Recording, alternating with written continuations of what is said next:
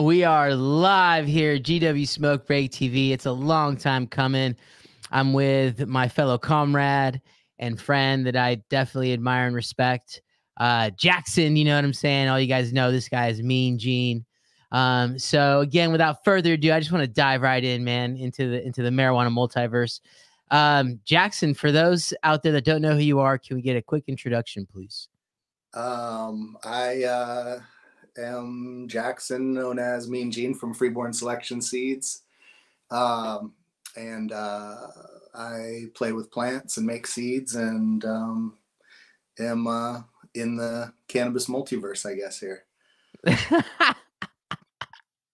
Heck yeah, dude. You're one of the pioneers, you know what I'm saying, for sure. Um, now, man, um, you know, so much has been going on, so much has been happening. And if we start backwards, like just take it back to a few days ago, I believe you were present at the uh, Ego Clash.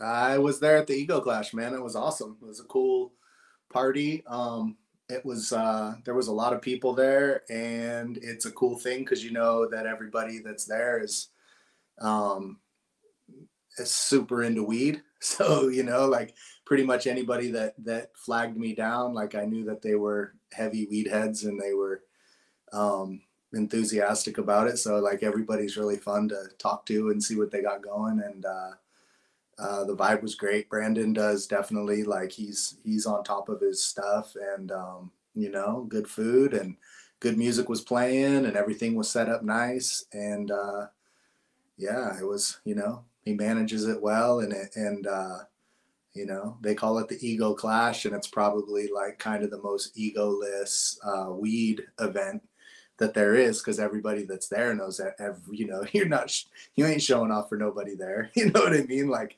everybody who's there you're like oh you know these guys got some crazy some crazy weed and crazy hash and rosin and um you know seeds and everything else that was going on. It's really a neat a neat vibe. Our buddy uh our buddy from up in humboldt with the killer killer uh fungi's were up there and um everything was it was it was cool, man.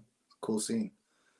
Yeah, yeah, uh, hundred percent. And the name Ego Clash. When I first heard the name, I remember I'm like, "What is it? Whoa, that sounds heavy. It sounds serious." Ego Clash, and I agree. You know, at, at events um, that I've been to, I haven't been to an Ego Clash. You know, uh, there's a lot of pride, and it's not competitive. It's a lot of love and a lot of giving away. And I think Brandon was really uh, creative and maybe ingenious in in how he put those two words together. Because um, i think when we're working on our product and me just being an indoor weed grower you know i do take a lot, lot of pride hella pride. Now how we express it i think is different in terms of not going to run up on you and be like yo my shit's so good dude. It, it you know your shit looks like trash compared to mine. Um so that's what that's what i was hoping to participate in you know but we didn't. I thought the gates were going to be closed after twelve. Um, so I didn't. I didn't go. I wasn't able to make it until like the evening time. Okay, I, I showed up like but, uh, thirty. Okay. Yeah, I, was, I, okay. I showed up like on the later side for what it was, and uh, you know, it was it was cool. I even my my ticket had expired, and I pulled up, and I was like, oh, I like I seen I seen Brandon's dad over there. I'm like trying to like wait, wait, you know, and luckily the guy who was at the gate, you know, I was like, he was like, uh, what's your name? And I was like, I mean, Gene, like I'm invited, you know? And he was like, oh, Mean Gene. All right, cool. And luckily, you know, the dude knew who I was because I was like sitting there and my buddy, my buddies were with me behind me in the car and uh, in the other car. And I was like, oh man. And we had, somebody had like double parked weird and it was a big runaround on parking. So we had to come way back. And I was just like, oh man, come on. Like, can we, hopefully we can get in here because we'd come all the way down. But everybody was super mellow. Um, it wasn't, you know, they have like good security, but not asshole security, and uh, the vibes, you know, everything was was real straight, man. So how does it work, Jackson? I mean, I saw a picture of you and like you have a bag on you, you know. I, am sure that people want to give you their work in the same way that I brought back some stuff from the UK for you. Um, and I know you probably get got some stuff to give out is it like every event you know are you always uh like never cease to be amazed by what you come home with Um, yeah, I mean, the more people that I that I like uh interact with, the more you know, the more people bring me stuff. Like when I had a booth, like at the Emerald Cup, or when I was set up at a table, I set up at Sticker Farmers Table last year. People can find me easier, and then it's like, whoa, okay, you wind up with all this stuff, and I still wound up with some nice. I wound up with some nice rosin and some cool seeds.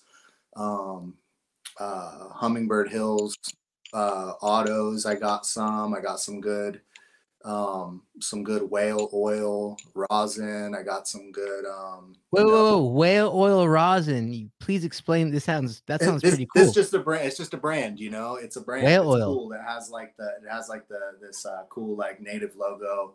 Um, and it's just some fire rosin that I got from a dude who who hooked me up, and I just remember those because I was just looking at them on the table, and I was like, "Oh, that's cool," you know um, as far as like the branding and the, the logo and stuff was it was pretty it was nice and uh, you know then uh, there's you know i wound up with a little bit of other stuff but not not as much as i would get if i was set up stationary because like you're walking around and people don't know who you like when i'm there i like I come home and I'm on Instagram and I'm looking at everyone's posts and I'm like, oh, that was so and so.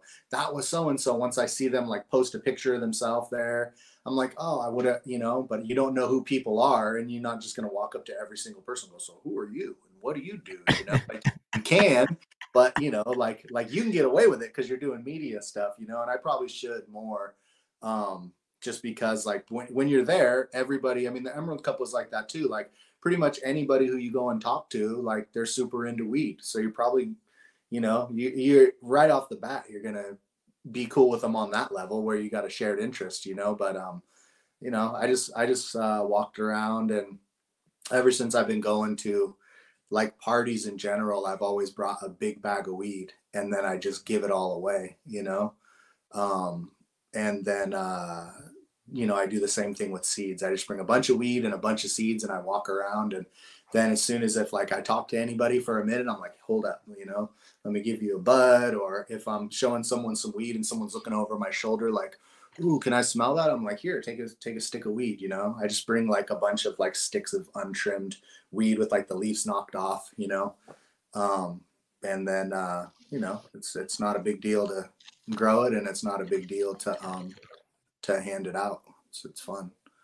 That's like my, you know, fun, fun thing. If is if you know people are like interested and they like the smell and everything, then like here, take them, you know, take some.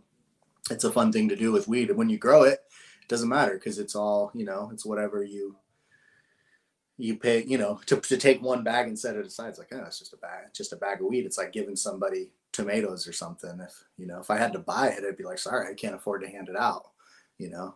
But when you grow it, you, you give it away. It's great. No, you're one of the fellows that taught me that uh, giving away weed and how it's uh, a gesture that is rarely forgotten. You know, uh, in the opposite sense, people kind of cherish that, and uh, they they definitely you know leaves an imprint on their memory. It's what it did for me. So in Jamaica, I definitely gave away some weed, and I've been the lucky recipient of you know you giving out some herb, and you've hooked me up on multiple occasions with root beer seeds, and I have some cool stuff to share on the show later on that you've given me as of late, some stuff that will be available on the website. Um, but ultimately, I want to say, um, did you have a learning moment, you know, from a certain conversation or observation, you know, maybe uh, evolution of the game or, uh, you know, certain terpene profile, or I can't say, you know?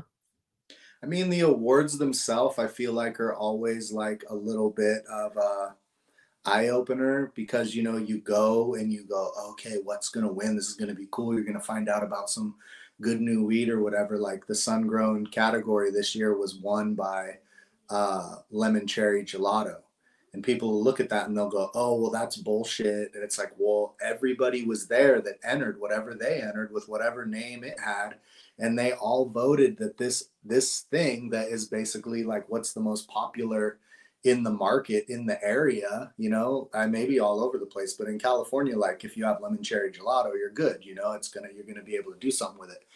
And um you know it just goes to show that even though a lot of people have that cut and a lot of people probably entered it or could have entered it the guys who really grow and really you know pour their energy into it and and know their stuff they can still win with something that everybody has access to. They didn't have any crazy proprietary genetics. They just grew it really well. They weren't wasn't even like super it's not that small of a batch. Like i mean it is by some standards but like you know they had a good little amount of the weed and they were able to enter it and still beat everything. And you go well i mean if it was not good at all it's not going to win by everybody's votes putting it in and of course there's a natural bias to what people consider good weed and what what's popular does influence that to a degree but you know, if it's just all hype and because so and so said it's good, it's not going to win in a blind contest against a bunch of other people's weed. A lot of people probably saw it and were like, damn, what's this? And probably had the cut or had had the weed before. Never seen it grown like that.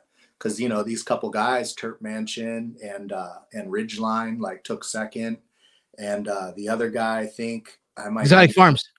Exotic farms. I i like i don't know. I might know him but i don't know like right off when i saw it. I was like okay i'm not sure that i know this dude but like i know i know ridgeline and like when you get his weed if you give his weed to somebody and you give them a bunch of different weeds they're always like damn what was that one? You know what was that what was that uh that lance you know it's green lantern runs, it's fire and uh, it's undeniable. But you look at it and you go, well, it's like a gas mixed with a candy gas, and I'm sure a lot of people could have it and, not necessarily um, be able to have like the craziest weed ever. But you know, he he's if you ask any of his friends from Humboldt, they're like, dude, that dude's always had the best weed since we were really young. Like, yeah, he just really hard to grow really good weed, and he's really enjoys it and is enthusiastic. And um, so you know, that's kind of a, that's a teachable thing because I couldn't help but think like, oh, there's going to be some kind of crazy new thing somebody's going to have and that's going to give them an edge. And it's like not if you maybe if you give the right people something like that yeah but they can take something everyone's already seen and win you know? You know what the edge is and what you and jason gelman have in common? And cody king from exotic farms uh, I, I can't say if homeboy from Terp Mansion is this. I think Luke is a first generation operator. Uh, your mom uh, influenced your career, you know, and you you've talked about it here and there. That'd be a cool direction to go in as much as you want to talk, because you know, I understand like Ayana Grigori's dad, he won't say shit about nothing. It's really cool. Um yeah, now yeah, yeah. Jason Gelman, his dad, as we all know, you know, he's got a cool relationship with his pops. I love seeing them together. And it's my understanding, I believe they bred the Lance together. But that's definitely uh having a, a edge up on the competition when he grew up in the Gizame like that. Um, so any, any responses, sir? Yeah, I mean, over, you know, of course, the more time you have with the plant, the more more knowledge you're gonna get. But funny enough, you know, like I was just talking about that. Who was I talking about that with? I was just talking about that with Casey O'Neill uh, yesterday. And um, what a lot of people don't like realize is that all the way until like basically we were adults by the time most people who were the generation before us like had very much weed. So like me growing up with weed, it would be like, yeah, there's a there's this little bit of weed. It's done in the fall and then it's gone. It doesn't you don't always have weed sitting around trying to figure out like what's this, what's that, what's good about it. Everybody only had a little bit of weed. It was really hard to grow weed in the 80s and the 90s when the 2000s came in and the medical came in, everybody was able to really start getting nitty gritty with it. And that was when it was like, all right, now people start to learn, like, okay, this is how you make full melt on a silk screen. This is how you make water hash full melt. This is how you make BHO blasting in like tubes and shit. You know what I mean? All sketchy, purging in a bowl out in the sun and shit. You know what I mean? Like goofy stuff like that but before that like we wouldn't even have weed really in the summer it would be like picking through shake for little buds or you know trying to get a little bit of this or a little bit of that and even though like you know we we had weed and we had the plants and everything it wasn't really until more my generation or the very like the generation before us like people who are my mom's age and older than her they basically were just like growing weed, trying to get some weed. And then if they got weed back then, like weed was all good. It's green. It's like it smells good. It's nice. And like there wasn't nobody was ever going to be sitting there going, well, I think this should score 82 points and this should score that or whatever it was, like breaking it down. Like dudes like um dudes like Ridgeline, they're like, you know, maybe his dad was way deep on that level. I don't I don't know him. But generally that generation wasn't like Haven't you, know, seen his mustache? Uh, this is his mustache. So, they say it all? He's got one of those hippie 70s thick ass mustaches, dude. Freak Brothers mustache. Yeah, no, something like that. Yeah. I don't know him, but um, but but it's a trip because like a lot of a lot of all of this is really new. So you're still seeing people make these big strides in figuring out how to produce quality, how to produce it at scale. I mean, Terp Mansion is masterful in all aspects of production, handling, curing. Everything they're doing is like uh is on a level that it's not like, oh yeah, I mean he like you said, he's first generation. But even if you were fourth generation, all this stuff is new. So as he's figuring it out, yeah, he's learning some stuff. He's got some people I'm sure that are putting him up on some game here and there. But for but a, a lot of it is that he's basically just trying to be super effective and super efficient and um, it might actually be an advantage that he wasn't taught anything when he was really young because he basically came in with a background as like an efficiency expert and said huh these guys do this this isn't the right way to do that this guys do this that's not the right way to do that whereas like somebody like me i'm like oh yeah i've i've watched like a bunch of old timers grow you toss some stuff in the dirt you grow some weed comes out good and then over the years myself I figured out like, all right, here's the little things that happen where we ruin it. And I've been able to like dial that in. But um but that information now as somebody who just started all that information is available if you're actually hungry for information. You can track it down and ask the right people and go okay what's what's going on with this? And so uh you know i i almost feel like the people who are learning fresh like terp mansion have an advantage as well if they have the drive and the ambition you know? And also you know i i came up in a time when you know you you grow enough and you don't want to like be the big guy on the block because you'll get popped you'll bring down the heat on everybody. He doesn't have that stigma. He's it's not in his head like oh enough is enough. It's like no i'm gonna go big i'm gonna do it proper uh, and he scales up in an organic way to where and i don't mean like organic food or whatever i mean just like the way it happens. It happens because he's like i can do a little more and it still works. I can do a little more and it still works. So he's winning competitions with weed that's grown more than most of people from my age group and above me. They won't they won't even like it won't even click in their head because you're like oh no you can't grow that much weed and have it be perfect. And it's like yeah he, he can because he's scientific he's calculated and, he's clocking.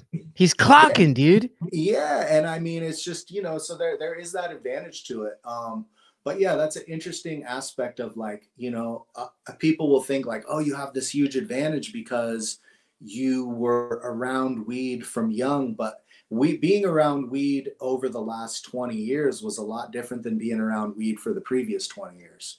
Being around weed in the 90s was kind of like everything was very exciting and sometimes it came out good and sometimes it didn't and some people like really had the right place to do it and could pull it off properly um, but it there wasn't like a whole lot to go off of from back then. If you talk to people who are like older than my mom, they're all oh, it's all pot, it's all good, whatever, you know. Like it's not they're not on the same level of being like um, getting all milly with the details and everything, which is what it takes now to be um, competitive. But me and my peer group got a little bit um, from like like my my I have a couple buddies where their parents were like very much connoisseurs and super into it. And so they got past some information. I got information from them. We kind of over the years like broke it down like, oh, okay, this is what they're talking about. This is what's going on. Learned hands on and everything. But I would say like that people who are um, older than me is there's less and less if you go back of people who are really super detail oriented, you know? Like Ted from Canna Country Farms, he's one of the real OGs where when people would be like, oh yeah, you're the man, you can grow so good and blah blah blah. I'd be like, you don't know people like Ted, because Ted is like the real like the man from back in the day you know what i mean and like i always was hoping he'd come out of the come out of the woods and then when he did boom he won the emerald you know so you know but like he said when he was in high school there was the stigma him where he he was like didn't want to be looked at as a stoner he couldn't tell people he smoked you know so once you get back before that there's not a lot of you know communication going on because you know, you tell people you're smoking, they they don't even want to hear it. No, I wanted to mute my mic real quick. I'm gonna I'm gonna check my connection real quick. I think I might have it on the on the wrong thing here. I can hear you. See you just fine. yeah, I was gonna ask you. Uh, all right. We good? Yeah, yeah. Since the first moment you spoke, no, thank you. About Ted, I immediately noticed a, a respect and admiration. and for me, I'm I'm pretty deductive, dude. I'm I'm pretty intuitive when it comes to sniffing out a fellow professional operator. You know, just like a a skateboarder can sniff out a fellow pro skateboarder or skateboard enthusiast etc. It's kind of a natural, I don't say attraction, but kind of a magnetism. You just, you know, like you said, we're into the same things. so with Ted, the first time I seen the guy, I was like, oh shit, this guy's a serious operator. I didn't know nothing about him. I didn't know his name was Ted. It was at the 2019 Emerald Cup. I believe you and I had an interview that day. We did. And uh, I just like to know in in your from your perspective why you give him so much credit well i mean there's a lot of layers to that and some of it is like is like personal stuff that's you know various connections between different people that like you can't like paint the whole picture but like to put it like more simply on my personal level i met ted when i was nine years old and he was a high schooler at that point. He's older than me by maybe I don't know. I'm not sure, but maybe. Dude, what was he like back then, bro? That's rare. Excuse me for interrupting you. Uh, what I mean, how was it? Because now he's got this crazy beard, right? Yeah, yeah. Was he a roughneck back then? Was he? How was he? I mean, he, he was into sports. He's really athletic. He likes to drive real fast. He's a man's man. He's like, uh, you know, but he's a sweetheart. He's a really good dude. He's super solid. He's never you know, you'll never hear anybody say like anything bad on him about him doing any kind of anything foul to anybody. He's just really, really solid, really cool, and uh, and he's charismatic. Like you know, I've literally met people who reminded me of him over the years and instantly thought they were cool because they reminded me of him, which maybe was bullshit. Maybe they weren't even very cool, but because they they reminded me of him, I would I would naturally be like, oh, this dude, this dude's cool, you know. Like I got a cousin, my cousin Mike is like that. If I meet somebody and they remind me of my cousin Mike, I just instantly think they're solid. And maybe they're not. Maybe it's foolish, but like I think it's a vibe thing. And and uh, it's I've never been proven otherwise to say that it is bullshit. Logically, it makes no sense, but I think energetically, maybe it does. It does work. But Ted's just one of those dudes who, like, um, back in the day, when everyone else would be out of weed, Ted would stop by and he'd have like an ounce in his pocket and he'd roll like a five gram fatty and like smoke half of it, leave half of it in the ashtray and set a big ass bud like this big on the table. And you just be like, holy shit. Like when people just didn't like when there was no weed around, like he always had weed, you know, and, and he was one of the first people who I saw go check on like little little tiny starts and like you know touch them make sure they were sturdy make sure there's nothing going on with the roots and the stem when they're little and look at them and go oh, i don't like that one pull it out oh, i don't want like that one pull it out and set the pots aside and like have all of this stuff just be like these perfect like beautiful starts like you know when the first true leaves come out and the plant's are already like this wide you know because the leaves are like little just boom poking out like thumbs off and there's only those, just like what I call like the canoes or the bunny ears. They're just like boom, and they're just fat and huge. And I was like, damn, these are this is crazy. Like they can look like this. He was planting his starts in bigger pots, not in six packs. You know, putting them in whatever six inch pots or something, and like just looking and being like, wow, this this dude's like kind of doing stuff with stuff where you could tell he was like there was these subtle subtle levels to the things that he was doing that showed like experience and stuff when I was only you know, whatever, 15 or something, you know.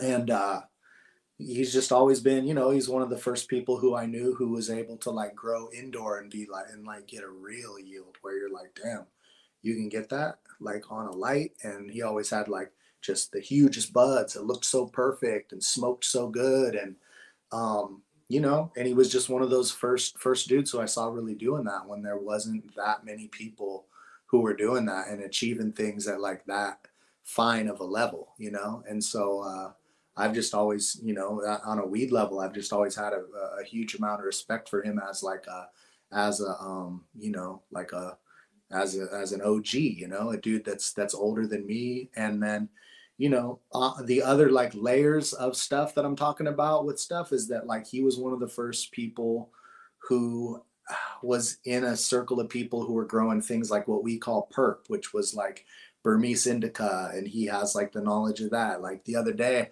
I asked him, I'm like, hey, um, you're from Leggett. When was the first time you saw the Hindu clone? I'm trying to figure out maybe how far it goes back. I heard of it in the mid 90s.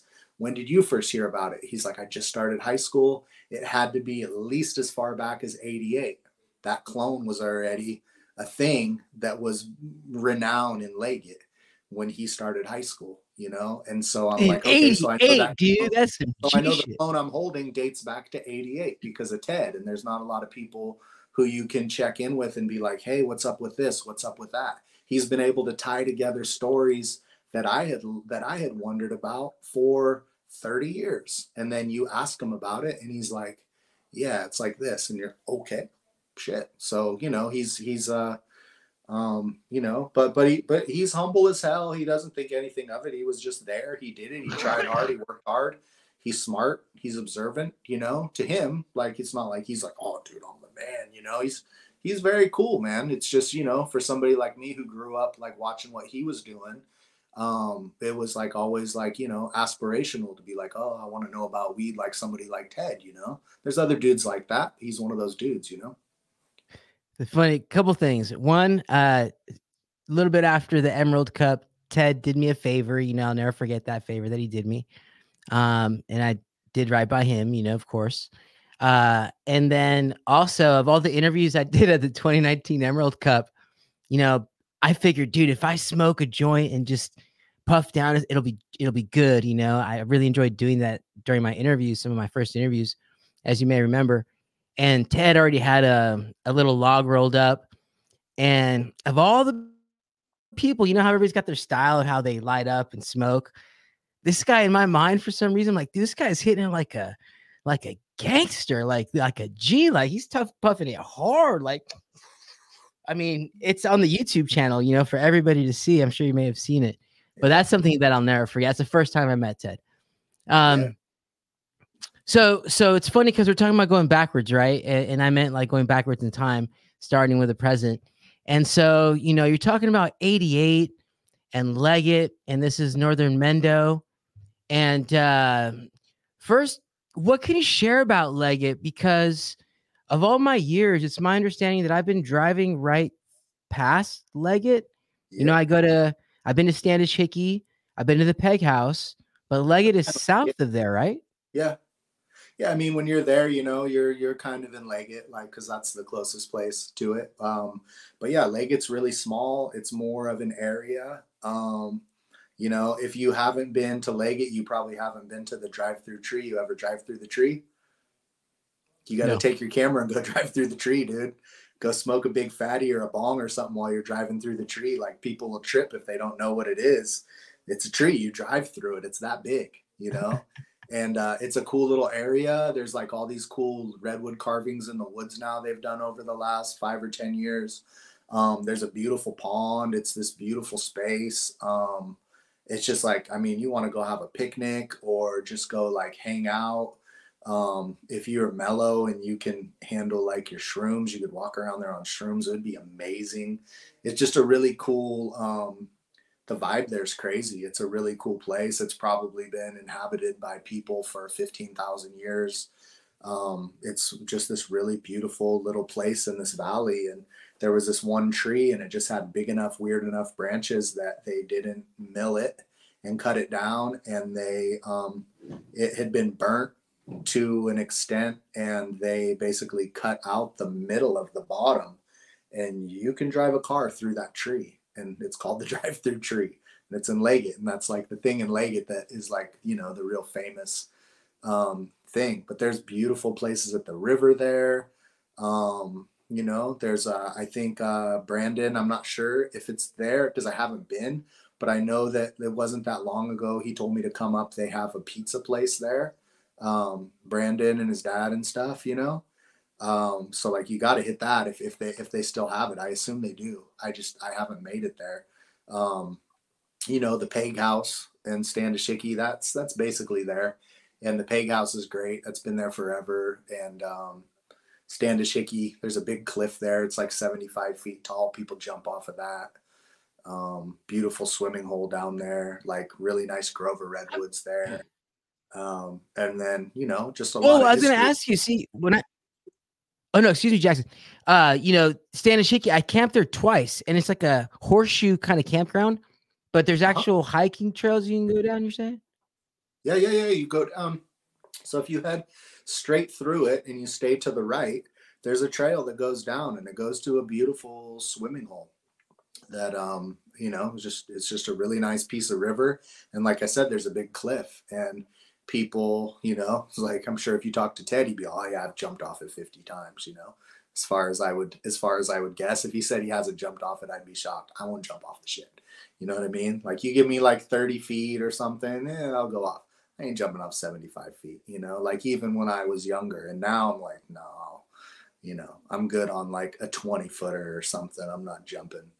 Um, but but people do. People go to Standish-Hickey. It's kind of like a locally famous, like, you know, if you know people jump off rocks, you're like, you ever jump at Standish-Hickey? And, you know, you'd be surprised sometimes the people who have and haven't, you know, sometimes people are like a lot younger or older than you would think or whatever, but you know, it's a, it's a cool little cool thing because the river up here is a big thing for pastime in the summer, especially if you grew up like poor, you know, like it's like, oh, go to the river. It's it's awesome, dude. You know, it's really cool. okay, time traveling some more. Speaking of poor, we went to Pakistan, and uh, I was thinking about this earlier. I'm like, you get to see your friends move around, do their thing, and the word that came to mind is sedentary. I think sedentary means to be in one place. Uh, and it's like the legend of the man on the mountain who he would exert his power and he, you know, rule his kingdom. And I think, you know, especially after a book that I read that Kevin actually turned me on to, um, uh, the some the samurai scrolls, shogun scrolls, the shogun scrolls, uh, your our kingdoms comprise of eh, you know our families our ambitions doesn't have to be literally a fucking country or, or what have you. And so um what i'm asking you is you know you're you're watching our world develop and us to be able to communicate overseas travel overseas gather seed stock and so forth um have you thought about this next evolution of the game and i'm going to influence i guess your response by asking you if you know what a triploid is. Um, I mean, I do. I don't really know like the details of, um, you know, the advantages other than what I see when people are selling them and showing uh, the crops and everything. Like, I don't, you know, I don't, it's not really like I'm, I'm totally, uh, um, in every sense, I'm a traditional breeder. I'm not a modern breeder. I just look at plants and I do things with them. Now, in and of that, I do a lot of different stuff. I do a lot of different test crosses. I try to keep males, use them on different plants to get a picture of what the male is.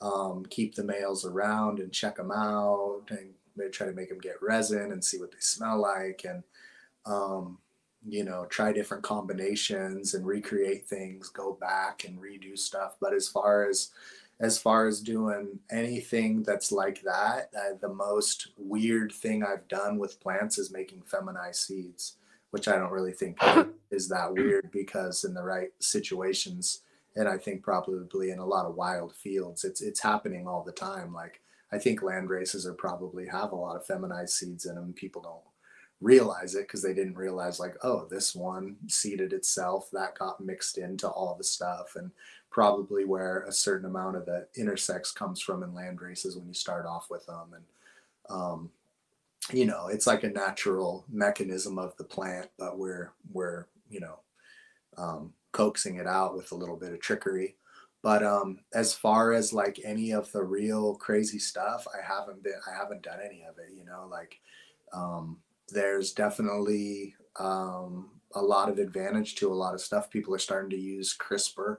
I saw somebody posted like, "Oh, my buddy's doing CRISPR editing on plants," and there's all kinds of stuff like that. That's that's cool. I, I don't even know the process of how they do what you're asking about. I, I don't even I haven't asked anybody about it. I mean, I'm sure I'll learn about it. I'm so once I find out about something, I'm like, all right, I I need to learn about it, but I've only found out about it in the last six months or so that that was a thing people were doing. I think it's Humboldt Seeds has been posting how nice. Um, you know, his daughter was saying, "Oh, these fields are so beautiful. These plants are so impressive," and I'm like, "Oh, cool. I'm curious. I'm not really against anything um, like that. I like to see people doing everything. Just I always have like I always have these certain things that I'm already working on and incorporating new things is definitely just doing a feminized run was a big challenge. But um but I'm but I'm curious about it and I think uh you know there's there's going to be some cool stuff that could happen when people start realizing when you realize that the mechanisms of how genes are transferring and you start to play with those then you're going to reach levels that you're not going to reach doing what I'm doing. And um, you know uh, i if the if they make sense to me and i like the idea you know i won't let it pass me by. I'll go ahead and, and and get into it. But for the time being i'm uneducated about it and i haven't i haven't dipped into it you know?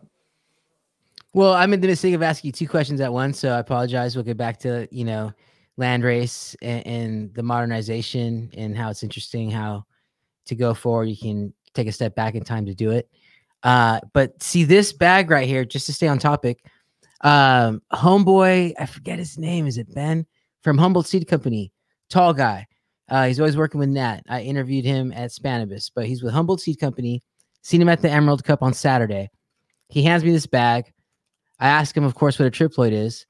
And to best, you know, my best recollection is something to the effect of it's a, a modern breeding technique that's been done that's like done in other it's been done before in other industries, other sectors, you can say. And basically, it adds an extra chromosome. It's like you breed it to, you do this technique enough, boom, boom, boom, like a Jason Bourne, like it just everything gets tuned up. It's like more vigor, more growth. And he was really talking uh like it's this next thing, you know, and I wish I could put it more into words, but it's like getting an extra, like as humans, we have certain chromosomes and plants have X amount of chromosomes. This puts like an extra so like an extra chromosome in there, which it, it puts makes it hog wild or some shit. It, it, puts an extra. My understanding of it is it puts an extra set of chromosomes, right? So like with humans, you know, uh, you hear like 23andMe. That's like breaking down everything that's sitting on your chromosomes, right? And so you're going all of a sudden like if plants have I can't remember what they have 28. I don't even see. I don't even know this shit.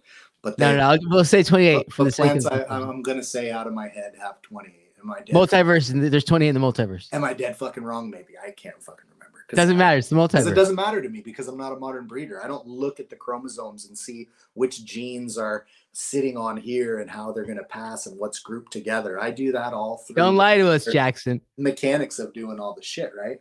But my understanding is that all of a sudden you would you would go from 28 to 42 you know all of a sudden you'd be going okay now we're adding a full set over here because usually they're in pairs and that's how everything is going and you're trying to match these things up you know um so i don't really get that's what i mean i'm totally uneducated about all that shit. I know about like plants and what i do with them and how it Me works too. how things pass and what i have and then explore things and figure out what's going on with them. But as far as this i'm like i don't even know what the mechanism is for them to develop this extra set. And then um like is it compatible with regular plants that have the two sets?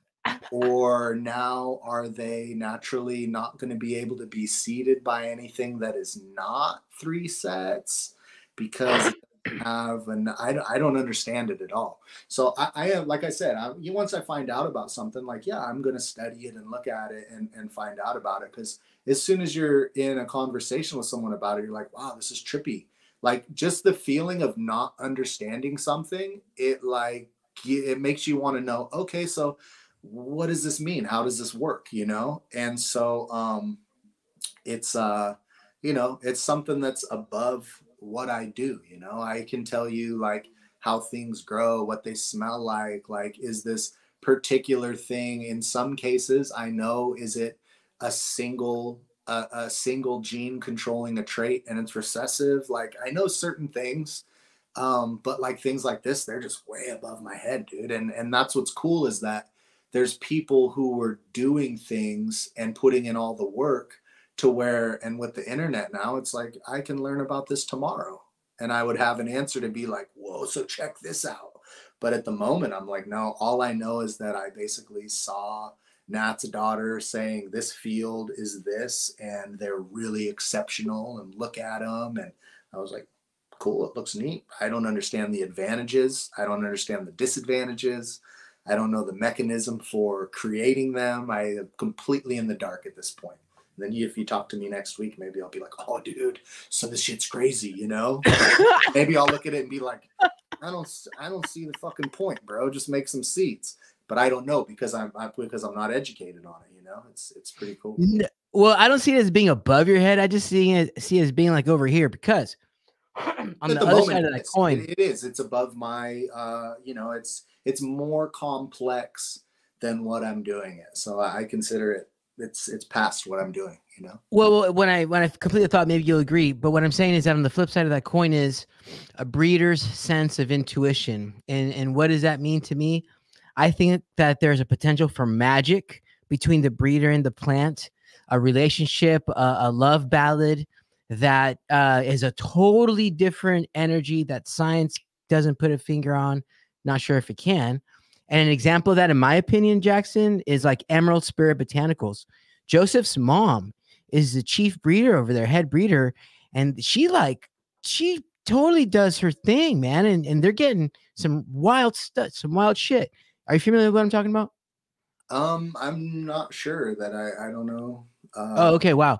So mean, to to- put it more into perspective, uh, the mom really takes on this feminine approach, and she really does this. I, I don't want to call it a ritual, but she presents the males to the females, and and she like opens it up to let them decide, or she really just, you know, it's it's the craziest thing. Again, I wish I could put it into words better, but but it's intuitive as opposed to as opposed to data based or yeah. Yes. And as a result, they're getting like high THCVs or CBGs, like like the highest in California. They're okay, no, no, no. I'm fully. I, I'm just. I'm terrible. Sometimes I forget. I know people in real life, and then I forget what their companies are called, or or whatever it is. But I, I'm pretty sure they're right around the block from me. And uh Joseph, he's got red hair, you know, yeah, and, long hair. And is this uh is this Katie or is the one of the ladies' names like Katie? I think his mom's or- main name might be Katie. She's really shy. She doesn't. Yeah, curly hair. Curly Uh, hair. I know Joseph's got a brother. I know it's a family ma- business. But I just know that I know a lady who's doing. She has like the highest. Um, they have like the pink goddess boost. Pink Boost Goddess. That's her. Yeah, Pink it's Boost them. Goddess, Yeah. yeah. I'm just you know like if it's not if I'm not directly like I'm not working with the seeds. I don't. So I try. To I know you exist in different multiverses. I understand. okay. really really sweet lady and i know her in in real life and um and yeah, she basically was like, oh, there was these certain plants and they seemed special.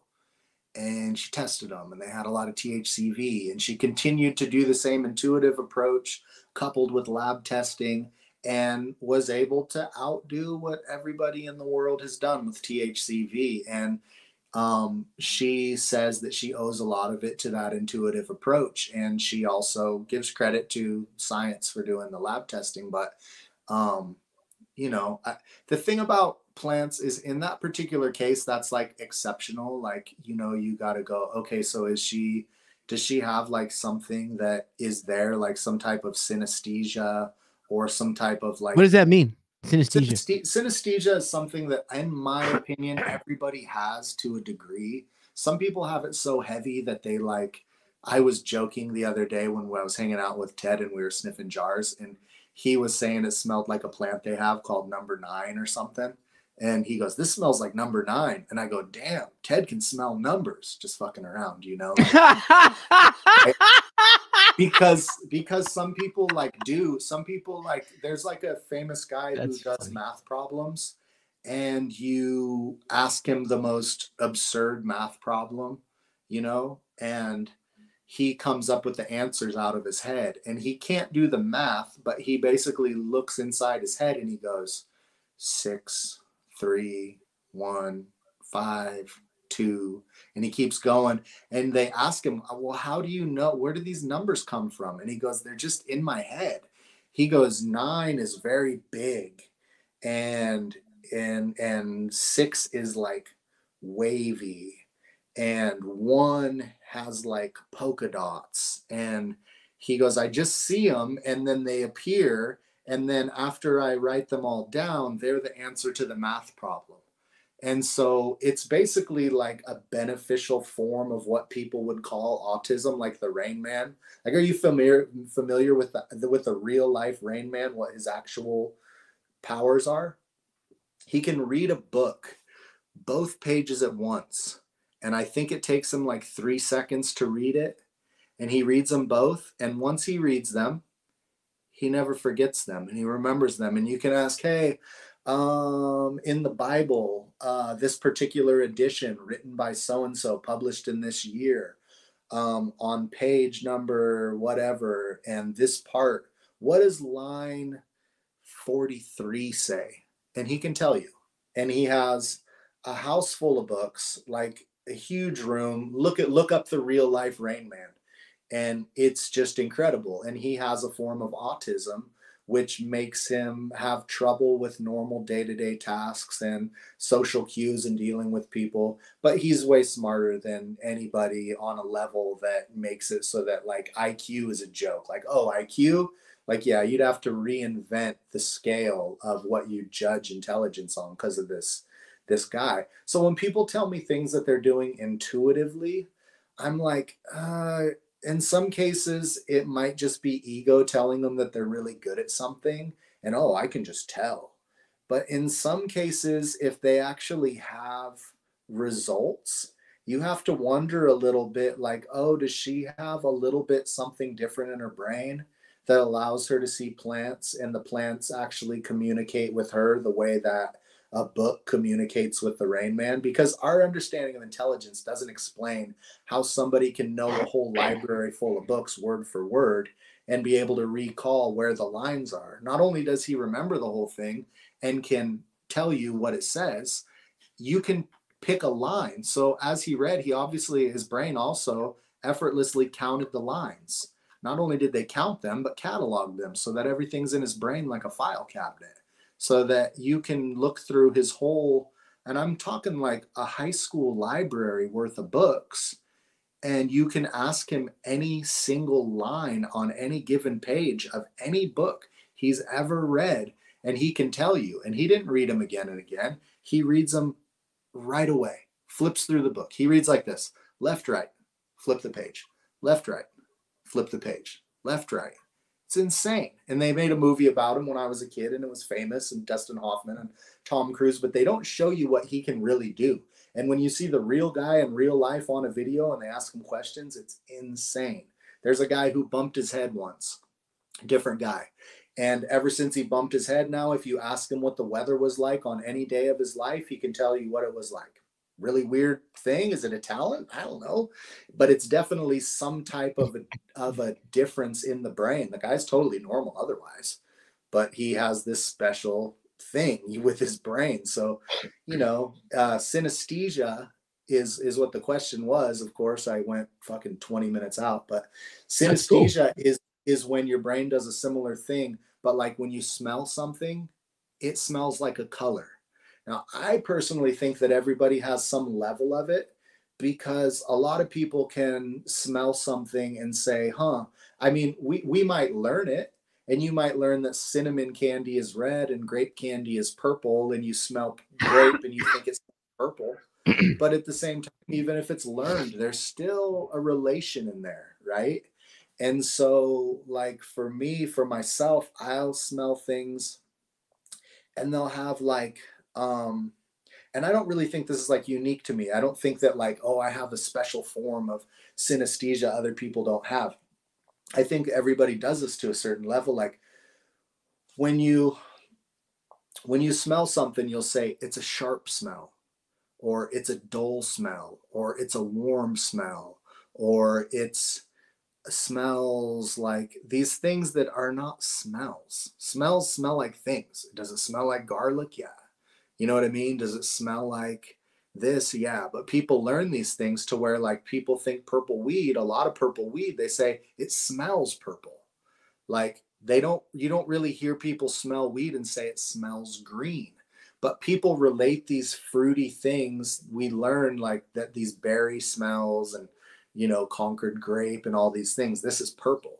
If it's a drink and it smells like this this drink would be purple when you show somebody a soda and it's grape soda, but it's clear, it fucking trips out your brain. Why is this clear? It should be purple, right?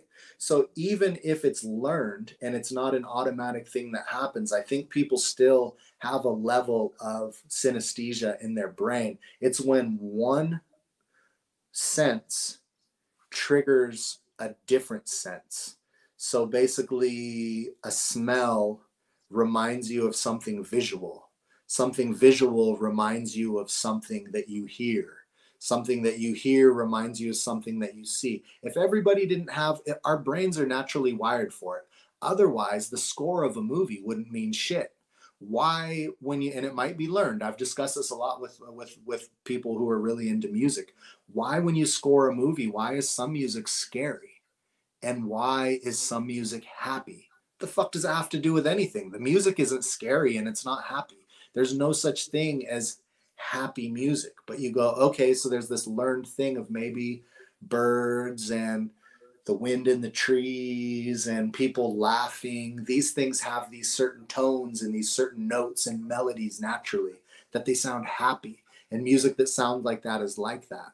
And then when you hear a car crash or a gunshot or somebody screaming or whatever it is, then those things sound scary and our brain instantly knows.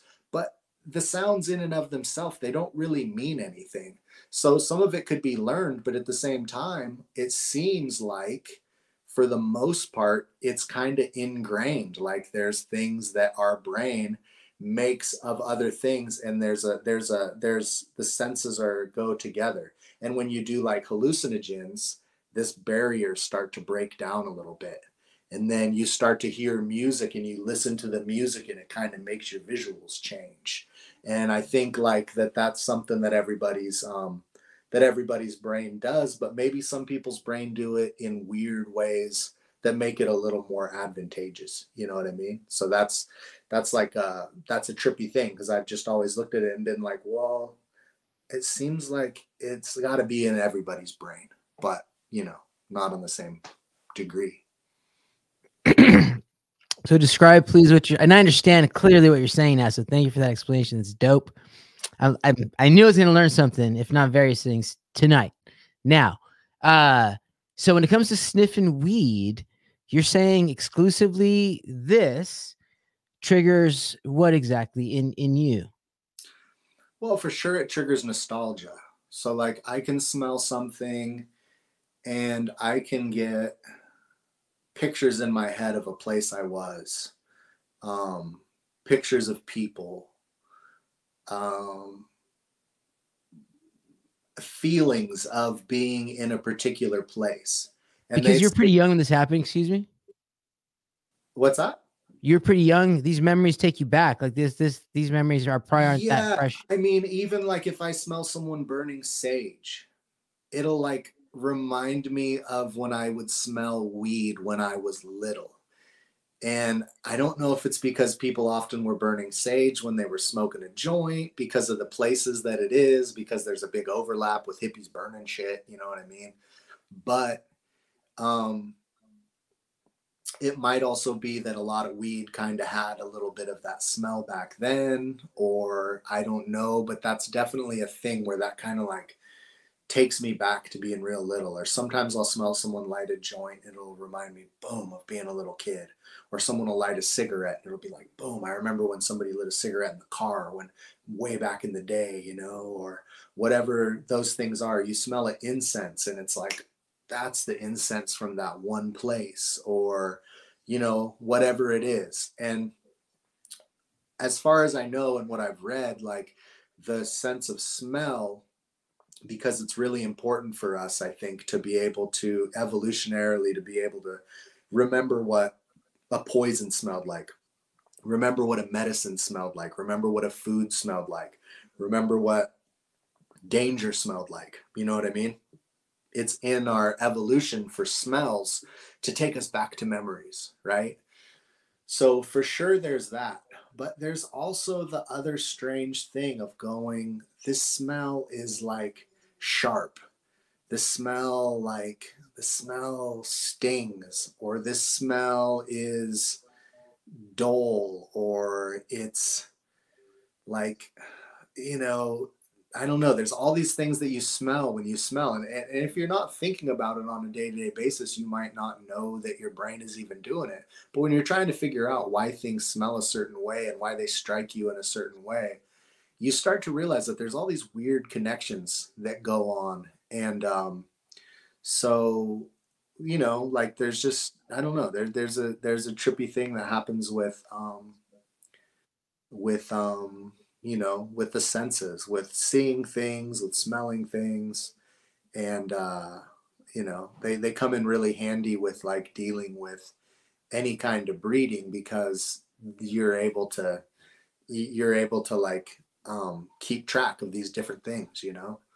But I, you know, I don't know really other than other than that, like really precise things as far as the smells, but definitely like the nostalgia of smells is really big. And when you smell something, if somebody smells, that's why I like a lot of these old things. Somebody will smell something and they'll be like, whoa, that just took me back. I remember, and then they'll have a story to tell you. I remember when I smelled this, and it's like, oh, that's fucking cool because there's these certain combinations in weed that people did smell 30 years ago, 20 years ago, 10 years ago, whatever, and they might have only smelled it once. And when they smell it again, it's like, boom, there it is, you know?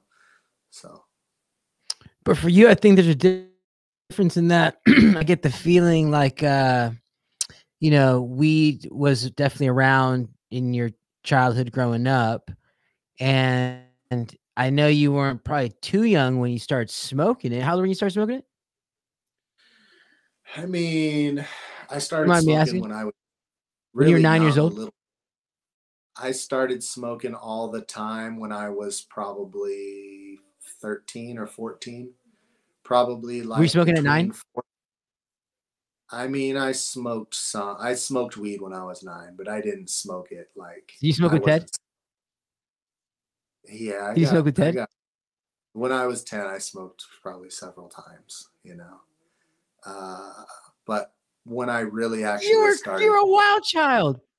Yeah, but I mean, damn, know, like, dude, I can't even picture you. Yeah. Uh, That's okay. So this is my point. Yeah. See, so this explains everything in my opinion it's because well if i was if i was like nine years old and i was already fascinated with weed or like obviously you had something really intrigued you some something something something you know And uh freaking A, man. It's like it's been a beautiful relationship since the beginning, like this rich connection that you have, which again is definitive of your breeding and your style and and, it, and you're really expressing it to me verbally right now that the scent of the nose is so powerful that it's you may not say it's your secret weapon but it's definitely a developed sense that because i think you're soaked in this in this multiverse from a young age um yeah dude you you're privy to so much. You you, you must have you've been around so much. That, that's the cool thing to me you know? Yeah i mean so the mo so really like i look at it like once i was like 14 i started really like learning about the subtleties of everything before that i look at it like everything in my mind was just like some pot and um I think new smokers or inexperienced smokers, me personally, it was smoke and it was unpleasant. It didn't taste good. And I would a lot of times like didn't know, but if you cough while you're exhaling, you get harshed really bad. You won't enjoy it. You have to wait until you exhale all the smoke. If you're going to cough, you need to cough after the smoke is all the way out of your throat because when you cough while there's smoke coming out of your lungs, you are not going to think, oh, this is tasty. You're just going to be like, oh, I'm so harsh. And, uh, and that's how it is when you don't know what's going on. And so for me, like, you know, everything really started for me when I had a peer group who was saying, oh, this is tasty. That's not tasty. And then you can see, and it's like if you want to learn about like wine or whiskey or weed or even, you know, a lot of foods to an extent, you have to have somebody who can say, Taste this. What do you think of that? Now taste this. What do you think of that? And then go, Okay, now I'm going to tell you that one is no good and this one is really good. Taste it again. And then you try the one that they say is no good. And then you try the one that's really good and you go, Well, what's better about the good one? And then they tell you, and then you try it again. And then over time, you start to go, oh, when your brain wakes up to these differences. And once you know, it's like you can't you can't turn it off because now you know. But until you know, you just can't tell the difference. There's no you don't have any frame of reference.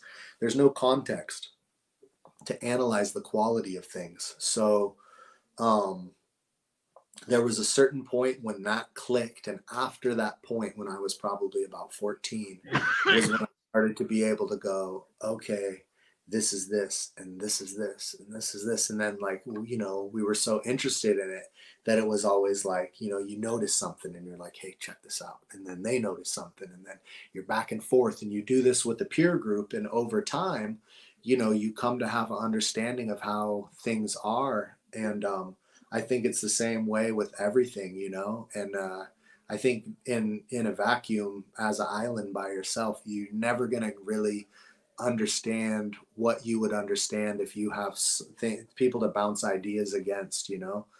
Um, but as far as like it's like oh that huge advantage of from being way back, it's like like I was saying earlier, a lot of it picks up later. Now, don't get me wrong to be started on that and be 14 and be in a neighborhood where everyone's growing plants from seed from lots of different varieties and all this different stuff intermingled in all these polyhybrids and you can go oh there's this one and that one and that one and you name them all and you like go oh that's oh that's like that such and such this one's like that that one's like this and then you know it's definitely huge and i think the biggest advantage wasn't so much doing it from being young but from being in an era when everything when every plant was an individual. And if someone had a plant had a crop with 30 plants they were all a little bit different and maybe they were all the way different. And you know a lot of people now who go learn they might spend the whole year and all they learn about is gelato 41 they spend the next year and all they learn about is whatever it is. Like oh it's years ago. Well i, I learned for two years i learned about gorilla glue and then for three years, I learned about, you know, lemon cherry gelato. That V. And that now it's been three years I've been learning about, yeah, lemon cherry gelato. And so there's there's an advantage to that as well. Don't get me wrong, because those ones now you have one plant and you dial it in and you learn about that too. But um, but I think it was really cool to learn about the subtleties of things in a time when there was everything was different. And that's what's so cool to see now is when people, you know, they're like, oh, I have one of this and I have one of that and I have one of these and I popped it all from seed and here's how mine came out. And I, I love to see that because that's how I started and what made me really enthusiastic about stuff as opposed to like monocropping something that everyone already knows is good. It's like the little bit of the adventure and everything. And uh, when people come check out all the weird stuff I'm doing who are monocropping popular clones, they're like, oh, I'm reinvigorating. I'm in, in, in, reinvigorated. I'm interested in plants again because look at this one and look at that one. And then they're like, I need to do a little thing off to the side just so I can look through brand new plants or a lot of different things that people have as clones or whatever instead of just going 100% all in producing this thing they know is the most efficient thing to produce they're like oh okay well let me go ahead and take a little bit of my energy and do this hobby thing over here so i can still keep having fun because that's like that was what made it fun for me. Had I started a different way, I might have just been like, dude, I can get a job. I'm just seeing the same thing again and again. It becomes to me, that style becomes like factory work because of my interests. You know, some people are more interested in the details of improving the one thing, and I can appreciate you. And if your mind works like that, then that's what you run with. You know, there's different things for everybody. But for me, it was all about like, you know, uh, exploring these different things and finding out about stuff. So that's where I've been stuck the whole time because I just like to see like what's this going to be, what's that going to be, and you know the thrill of finding something cool and then something you know from the old days pops back out. You know, so like it's all, um, you know, that's that's the way that my brain works with all of it. So you're telling me that you live to to be able to pop something from the past, like especially this Hindu Kush. It seems that you're really you have a fervor. Why why the Hindu? Is it it's the nose? Was it the effect? Was it an uh, experience? It's the effect. It's the way it smokes. It's the fact that it is like the original the original Kush clone before we knew about all these Kushes everyone else talked about. This Kush was here. When people talk about, oh, OG, people are saying like, oh, maybe they saw it as far back as 92 or whenever back then. Ted's talking about he saw this in 88. When people are talking about Bubba Kush, they're like, yeah, was this really this crazy? There was the Bubba, and that was a totally pure indica. Like that was in the 90s. Like I'm talking about this is in the 80s. This is that type of weed, like a Bubba Kush or a Master Kush from before all that. So that clone is is is is less bottlenecked. It's um, not crossed with any OG. It's not hybridized with anything. It um, has the killer effect where it's like real kind of overall potent. So it has some head high to it, but it has a really heavy body high to it. Like I don't really want to smoke it in the day that much, but you can get away with it because it's not totally dull but it is heavy. Um, it's it's potent weed, and it is to me like that really nostalgic um, kind of coffee smelling with a little bit of like underlying Afghani acrid funk to it, like not like skunk skunk, but like that little bit of, you know, like I mean, it, I won't say that it's in the realm of like the gassy stuff. It's not really super loud smelling. If you have lots of other weed around it and you smell it, you won't smell it that much.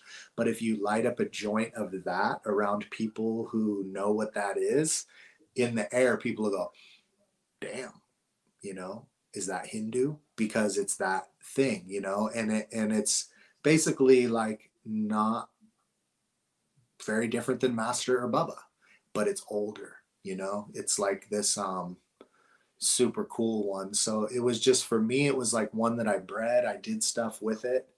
And I I never kept it as a clone because everybody had it. And I would just, hey, can I get a clone? And I bred it and then I started doing seed work with it. then by the time I was like, I should do more with that, I asked everybody and they're like, no, we don't have it anymore. And it was gone. And it took me from having it and breeding it maybe in 2005 to getting it back um, year before last, year before this. It's still this year. So I got it last year. Um, but what was what did you get last year? That excuse me, a clone or seeds? The clone. It's the it's the original. It's the original clone from the '80s. It's the real what? The real. Yeah, yeah.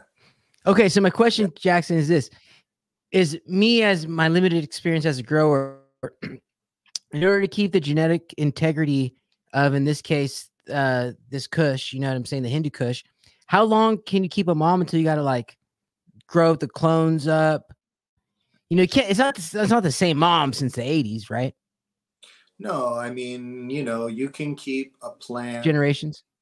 You can keep a plant as long, like a single mom, as long as you can keep that plant healthy. So, like, say you were really goofy and you had a barn, you could take one plant and string up lights everywhere on all sides of it and continue to move them out and move them up as it got really big.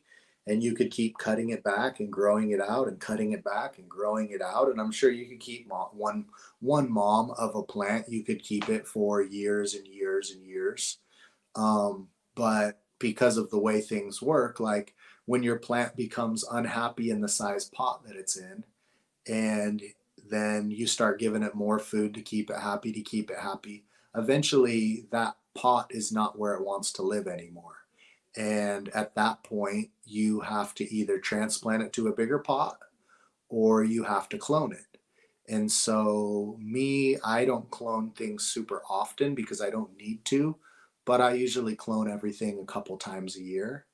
And um, I'm sure that the Hindu has been cloned a lot of times, you know. Um, since I've had it, let me see my what I have now that's my stock. I cloned it I've probably only cloned it like three times since I got it, you know, as far as to make new moms.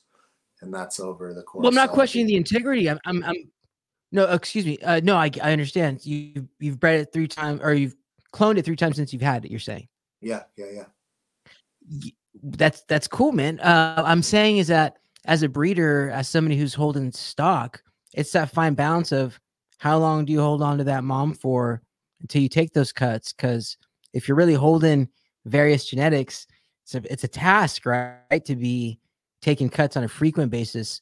I would imagine I, one would want to like extend that as much as possible without uh, degenerating, you know, compromising the genetic quality.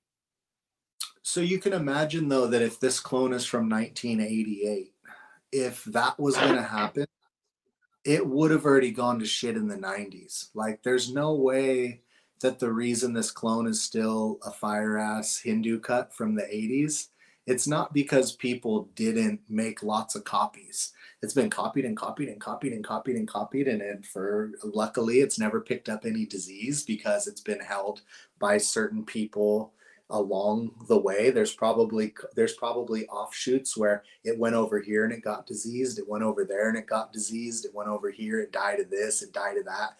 And then there's this one boom boom boom boom boom going through clone to clone to clone to clone to where when i got it it's a really vigorous clone. So for me in my experience i'm not worried about degrading through cloning it too often I honestly think that you're probably more likely to degrade it by not cloning it often enough, if that makes sense. Meaning that as the mom gets old and loses vigor and you clone from it, you can slowly lose momentum and lose momentum and lose momentum. And now, if you take one of those that's like, you're like, this clone is tired, it's not that good anymore. If you can get it really, really healthy again and clone it, and then take a clone off a really healthy one and take a clone off a really healthy one, all of a sudden it'll be super healthy again. But it's going to be cloning it often that's going to help you to get there as opposed to avoiding cloning it often. I think avoiding cloning it often probably would hurt it more but even though I don't clone them that often, uh, they seem to still just be fine. You just have to make your plant be really healthy And the clones that come off it at any stage when it's really healthy, they'll just kick ass. You'll have great, great clones. It's a trip, you know, it's a very resilient plant.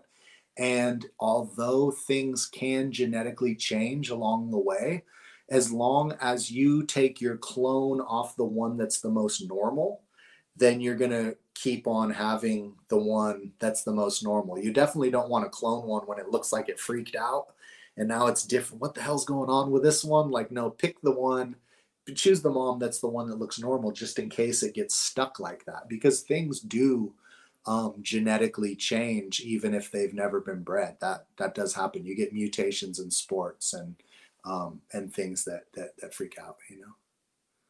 No, and I was simply, um, you know, observing how much of a miracle almost it is to be able to have that uh, strain, the Hindu Kush.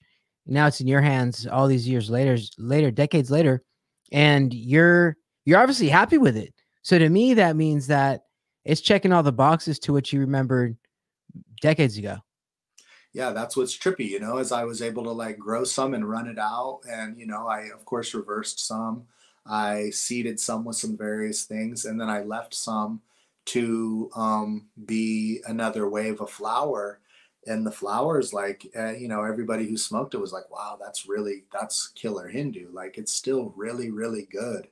And, um, you know, I think that's, uh, you know, just uh, like, uh, testament to to the the resilience of the way that a plant can be. You know, clones are a trip, dude. Like you would think, like, oh, it's gonna be, it's probably not gonna be the same as it used to be, but it's, you know, it's just as good as any I ever grew.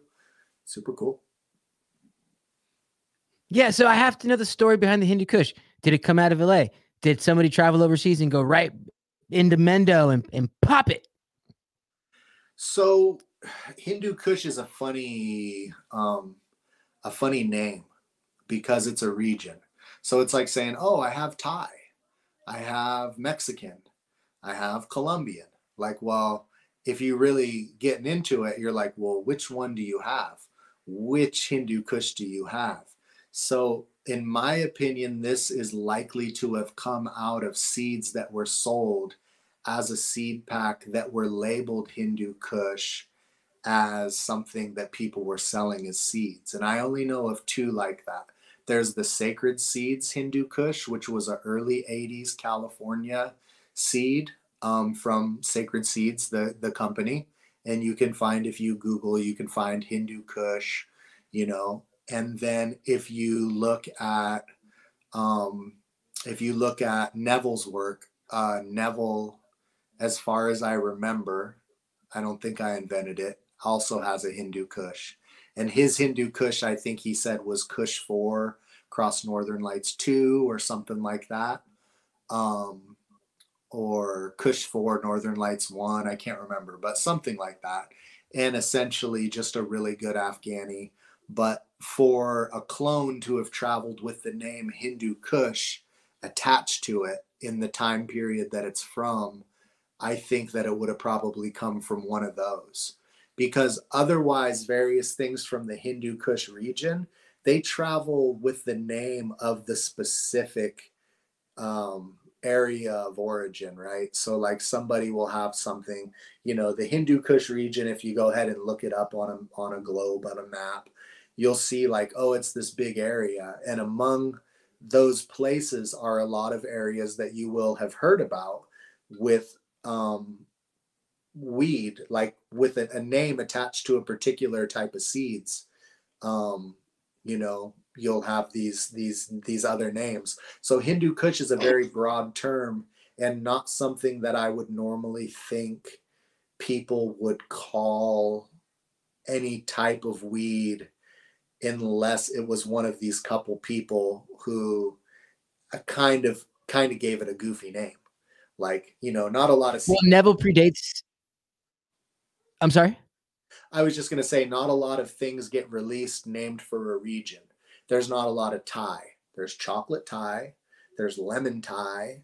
There's such and such Thai. There's peanut Thai. There's these names from Thailand. There's the names that in Thailand that they attach to the thing. There's Colombian, sure. Colombian is an import, but typically um, something that came from that region would have would have arrived and it would have been called Afghani. It would have been called Pakistani. It would have been called Khyber. It would have been called any of the things that are in this whole big area.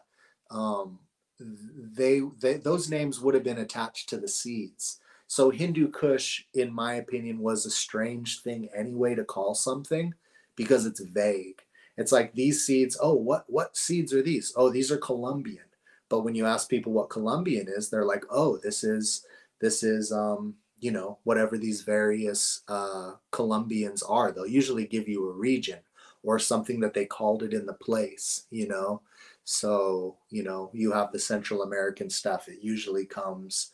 There's very few people who have seeds that are labeled Mexican, although they exist. Usually they are Oaxacan or they're you know limon verde or their whatever the different things are they usually have a name or a region attached so when i see this clone from the 80s labeled as hindu kush it leads me to believe that it came from one of these two seed companies that gave these goofy seed lines the name hindu kush you know?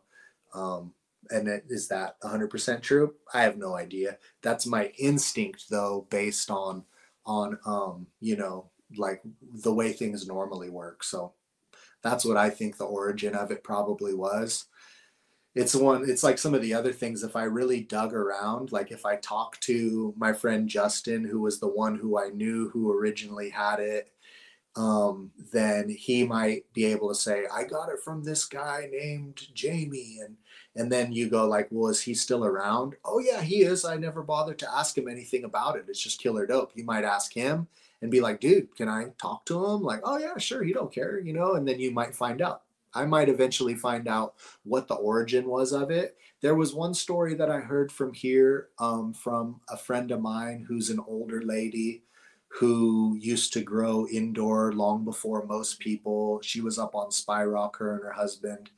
And she said that she re- remembered the first Hindu from right around the mid 80s sometime and then it was popped here by a guy who did a lot of heroin named Frank and that he was the first guy who had it and that that was where she remembered it spreading out from and that he was the guy who it came from. But when i talked to my buddy justin he's like oh no i got it from so and so and it didn't the stories didn't line up. So is her story not right? Doesn't mean anything that it's not but it doesn't you know it's it could be from Leggett, it could be from Garberville, it could be from Seattle, it could be from it could be from fucking, you know, the Appalachian Mountains. There's no telling exactly where it's from, but um but I I believe it to have come out of that the one of those original um either seed bank or sacred seed releases just because the name is is vague and an interesting way to label seeds that come from places that sound more exotic in a lot of cases i think like i thought those are kind of weird way to name things you know so no no no you make a great point and so in my mind i'm thinking does neville predate sacred seeds no no neville's later so sacred Neville's seeds later. as i understand it is like 83 or 82 or somewhere in there and that could be wrong um, there's a timeline of seed banks in one of the Cannabibles in the beginning and I never saw it for a while after I had it. And then we found it one time. We're like, whoa, this is interesting. I've never heard of this.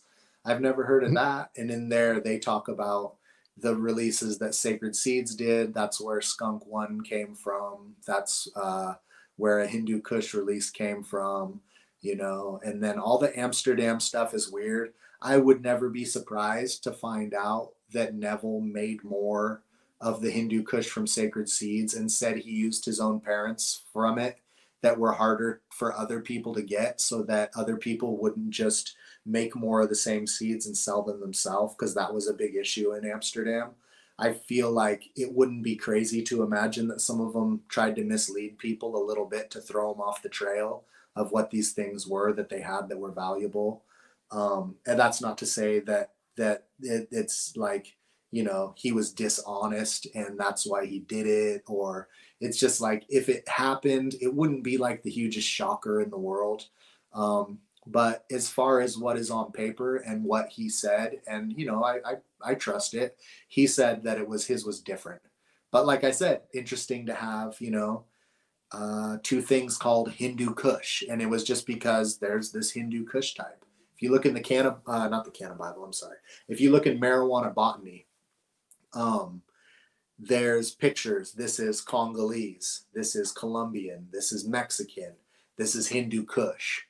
And when you look at the Hindu Kush picture in there that was um, drawn by Rob Clarke, you'll see like, oh, okay, that's like a nice big Afghani, beautiful type. It's pretty similar to like what the Hindu Kush is. So it was understood as far back then. I think he wrote that right in the very end of the 70s. And he already had a picture he had drawn of what he considered to be Hindu Kush. And it's very much the Afghani that we think of um, when we think of a pure Afghani now, like with the big central, the main, the big, big leaves that get 11 to 15 fingers and all that. This particular clone doesn't get a lot of fingers, but it is very, very much a pure Afghani. And, um, you know, it's super cool. And it is similar to some things that seem to be Northern Lights based. Um, so, you know, Neville's Neville's stock would make sense as well as it being some kind of a Northern Lights thing. And I haven't specifically seen um, anything that could be directly tied to Sacred Seeds Hindu Kush to say whether that's the same, although it would be fairly likely that Clarke's drawing would be something that maybe could be there since it's the circles were small back then. I would imagine. Huh. Yeah. No, no, no. Oh, excuse me, hundred percent, dude. Not only that, but uh, what was I gonna say? Uh, it's well known that in Amsterdam at the time, uh, these guys are relying on American genetics to do their thing. Is that correct? Say it again. That at, at that time, the American. Oh, back then. No, yeah, back then that the Dutch guys are relying on American genetics to do their thing out in Amsterdam. I mean, it, you know, that's what's funny about. There's always like a big argument over the East Coast, the West Coast. No, it's all Amsterdam. Like, dude, people can really say what they want, but if you trace everything back, a lot of it goes back to like Santa Cruz, Humboldt, Mendocino. If you ask, people are like, "Oh, well, I got this well, chem dogs from the East Coast." Like, is it? Ask them. They said they got it from the West Coast. You know, OG is OG is this. The best stories we can find of what the origins of OG are, they sound like it was made from stuff out here. You know, New York's like, well, we have the haze. Miami, we have the haze. Yeah, well, you know, haze is is is you know, it's Colombian, and the first place where the name and the term came out was in California in the 60s. You know, nobody's like, oh, I was in New York and I had the haze in the 60s. They didn't. It's just not how it is. And that's not to give credit to like, oh, it's this region. It's just the fact is that this was where it was remote. So there's a lot of places that were really remote that really have a lot of cool stuff. There's a lot of cool stuff came out of Ohio.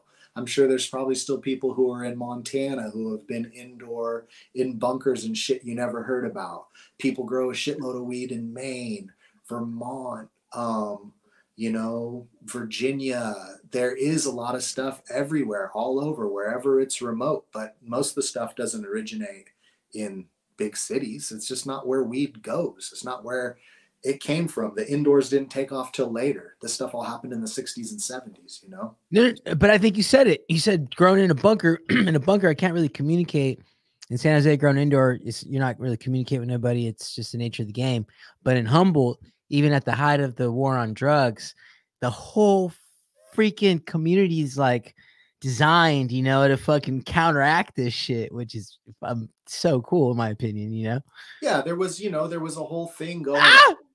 Has nothing Excuse to me. do. Like it's that's the fun. That's the funniest thing, you know. Like it's like um, you know, eh, you might as well argue about like East Coast versus West Coast rap. Like, what is this? Is this fucking death row and fucking bad boy? Like the whole thing is ridiculousness, you know. Like you look at it and you go, well, Tupac's from the East Coast fucking, you know, like there's old, you know, hip hop was originated by Kool Herc, who was from Jamaica.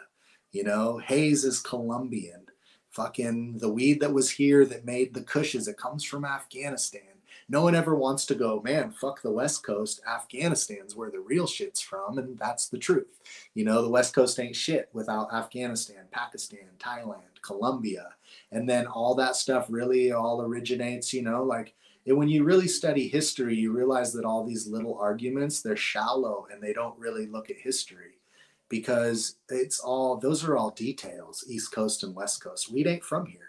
It doesn't come from california doesn't come from oregon doesn't come from new york you know it comes from northern india southern china somewhere over there been in africa forever been in all these places you know like if you want to really like look if you really want to go east coast west coast you're like fucking Silk Roads, motherfucker. Like that's where this is really from, you know?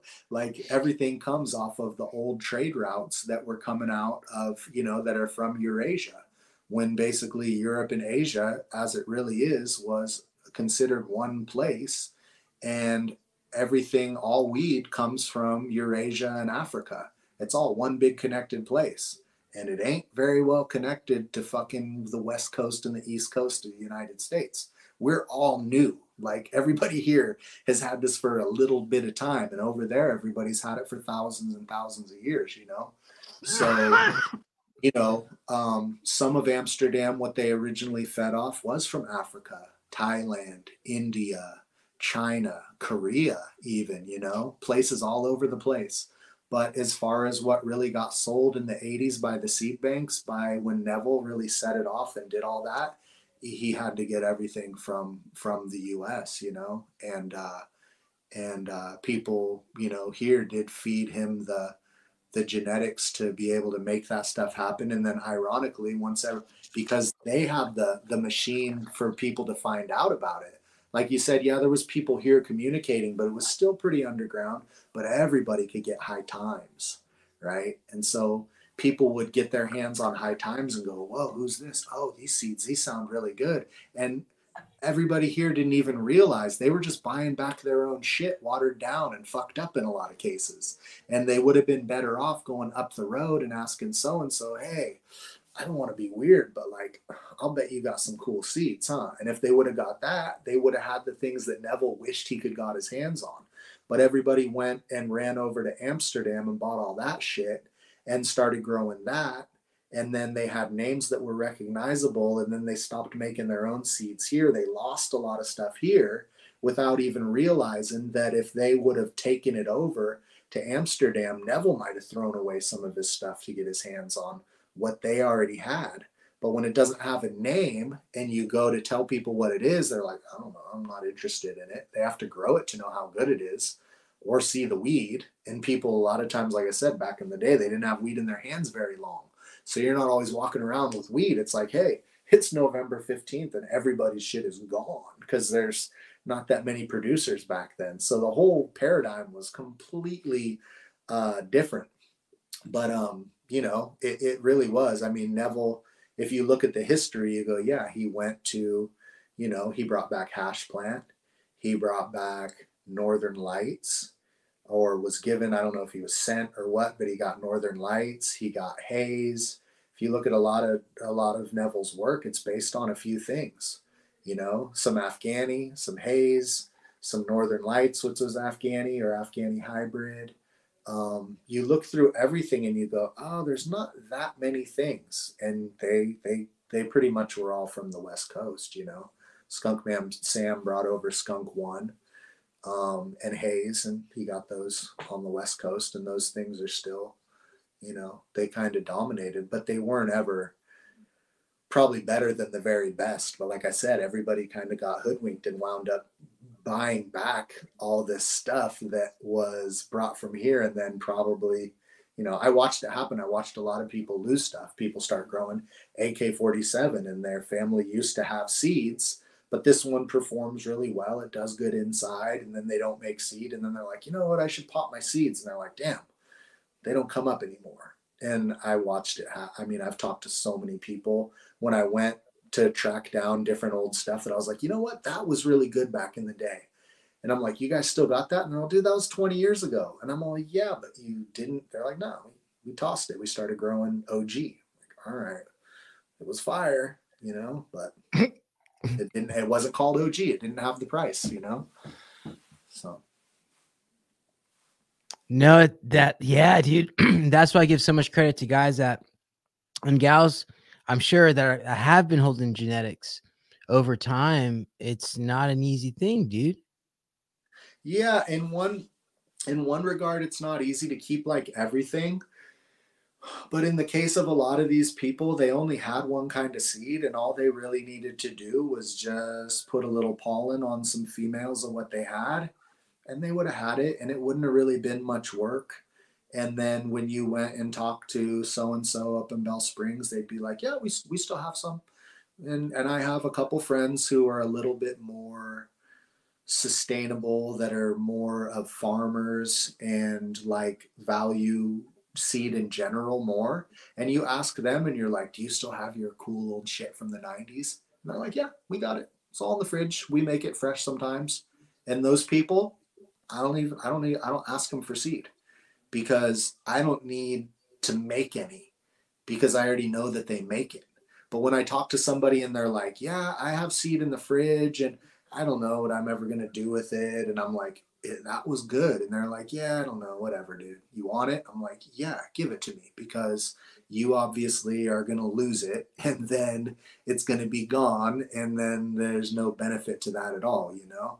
So it's like things that I know people really are going to enthusiastically keep. I don't even want anything to do with it because I know somebody's got that covered. But I do want, always want to get the things that like people seem like they're just going to abandon. And I'm like, but it's those are good plants and they might not even be good like sure maybe you can't sell the weed but it doesn't mean that they're not cool or they don't have a valuable couple traits in them that are important for us to be able to incorporate or might have some resistance to something like septoria or some kind of weird bug that gets introduced like a moth and we don't know it's there because it hasn't got here yet from South Korea or wherever it gets imported on a shipment of fucking who knows what you know? Like you you need all the different genetics. So like you know you, you gotta you gotta have uh you gotta have stuff but it's a trip because i lost a lot of things thinking it would be complicated to keep things and then look back and go dude it would have been so easy to just have a couple of plants in some six inch pots and make a couple hundred more seeds and put them in the fridge or take the seeds that i already made pure put them in the fucking fridge don't leave them in the closet because I had some shit that went bad sitting in the closet too. And like you, you can never, you know, you never stop kicking yourself for that because you're like, dude, it was bomb, and now it don't pop, you know. So, um, kind of a little bit of knowledge and also understanding that things are important is big. So, you know, I always want to tell people like, hey, if it's if it's not the same as everything else, it's important doesn't matter if it's not as good or if it's different or it doesn't fit in or whatever it is. Like, no, the shit's important because it's not what everything else is. You know, you might discover, yeah, it's totally no stone. Oh, guess what? CBD is a thing. You guys didn't fucking know that until 2000 fucking 14, and everybody threw away all their shit because it didn't get you high, and then they found out, oh, damn CBD, you realize like, yeah, you guys might have thrown away 33% CBD strains, you know, but it didn't get you high. So who wants it? You know, now it's valuable. And you're like, all right, because I almost did it with some stuff. Just didn't get you high, you know. That that's so interesting, man. uh it's all it's all such a dope conversation. Now, before I forget this question, how long do you think, even if it's in the fridge, uh, a, a seed can last uh, until it's not viable anymore. If you get your seeds nice and dry and you put them away with something that will suck up the extra little bit of moisture that might have been in there when you packed them, and you make sure it's truly airtight and you keep them cold. Um, I personally believe, and I'm not old enough to say it 100%, but I personally believe you could put away your seeds, pull them out in 30 years, and they'd all be fine. Because I pull out things from 10 years ago and they're 100% like the day I put them in the fridge. 10 years. Wow. You know? And, uh, and now, um, had I put things away, they would be fine. I mean, I know Tom Hill recently pulled out Haze to sprout, and I think he popped. I can't I can't remember a few hundred, and he got.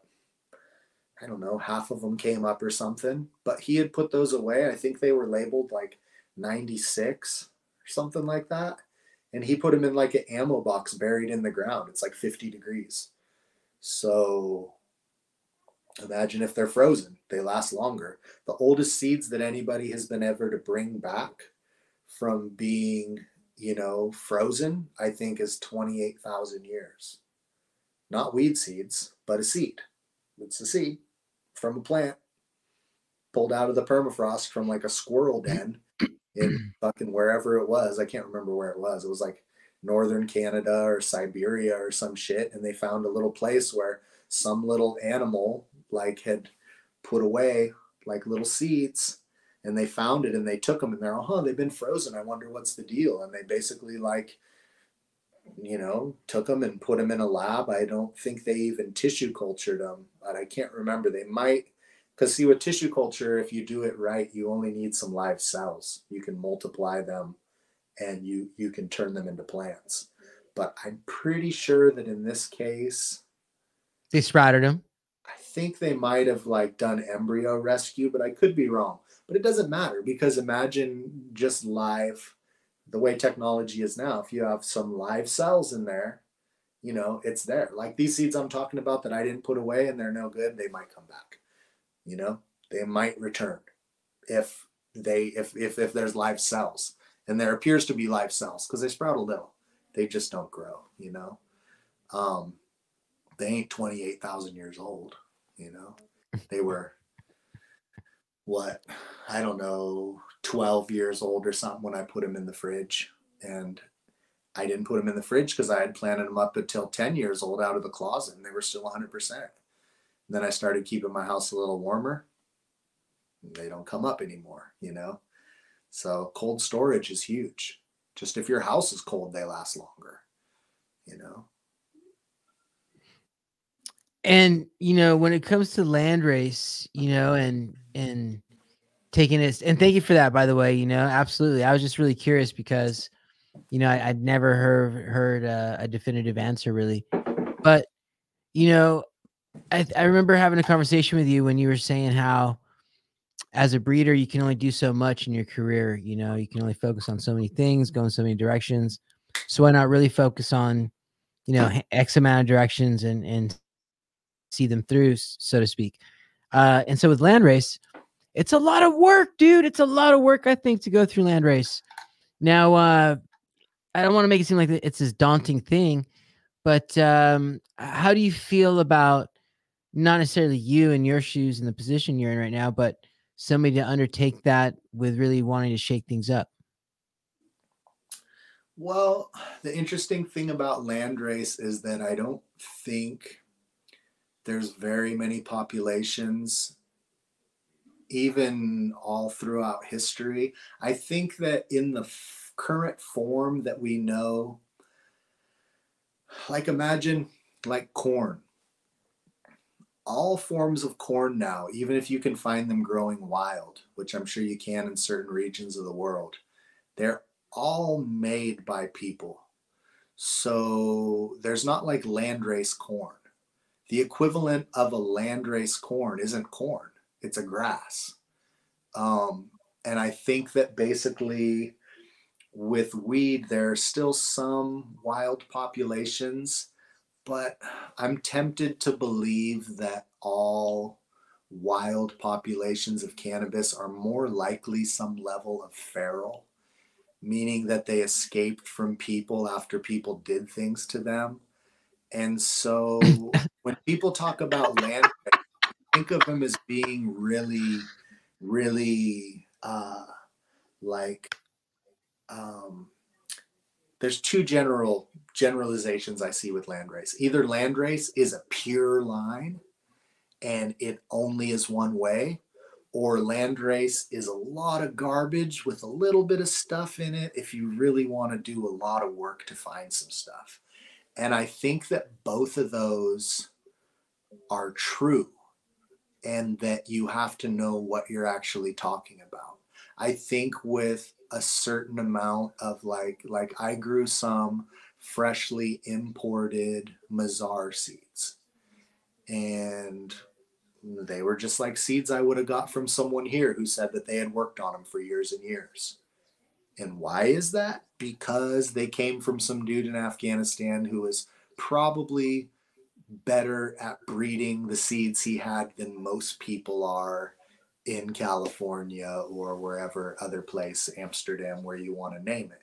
Like people look at it like, oh, this Afghanistan, like, you know, like you think this is like these these people are like primitive minded, like because they're in this other place.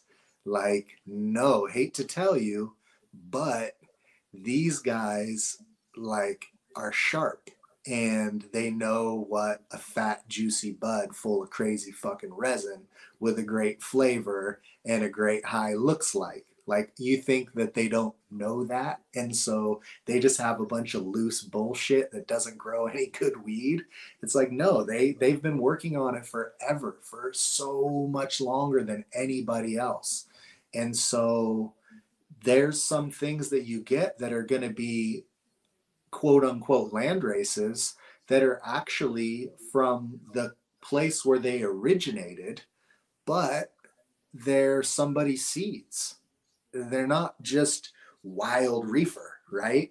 And then there's other stuff that you might get your hands on where you're going to plant it and you're going to go, whoa, even outdoor, 90, 90% of them are all intersex and they hardly get any usable weed and they take forever to flower. And then when you smoke them, they taste really harsh and bad. And like, yeah, that's gonna exist too, but you're gonna have a whole range in between all of those things. And depending on which region you're coming from, some of these things that we're calling land races are actually heirlooms from people who have put a lot of care into making the things that they make. And so, um, in reality, what we're calling land race in a lot of cases is really just another person's or group of people's seeds that they've done a lot of work on to make very special. And in incorporating land race into things or adopting them as pure lines, you're actually getting something as if it came from me or getting something as if it came from you know somebody who does really advanced work on things that like is more than I've done. Like the, these are people who are growing fields of thousands and thousands and oftentimes pulling the seeds out as they make hash from the plants. So they're not just walking around in a field and going, huh, I wonder what these things are. They're actually taking the plants and going through them, going, this one looks really good, and checking it out and going, yeah, wow, that's a lot of hash. This is, try that. Oh, this is really good hash. All right, keep this handful of seed.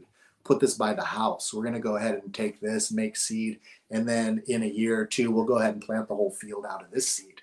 And people take that for granted, thinking that these people are just crazy foreigners that don't know anything about weed like California people, you know, and it's like, yeah, no, these a lot of the stuff that showed up when it showed up was already really really killer weed, you know, because you heard the timeline I'm I'm talking about, right? We're saying that indica was very reasonably unknown in the United States before the 80s.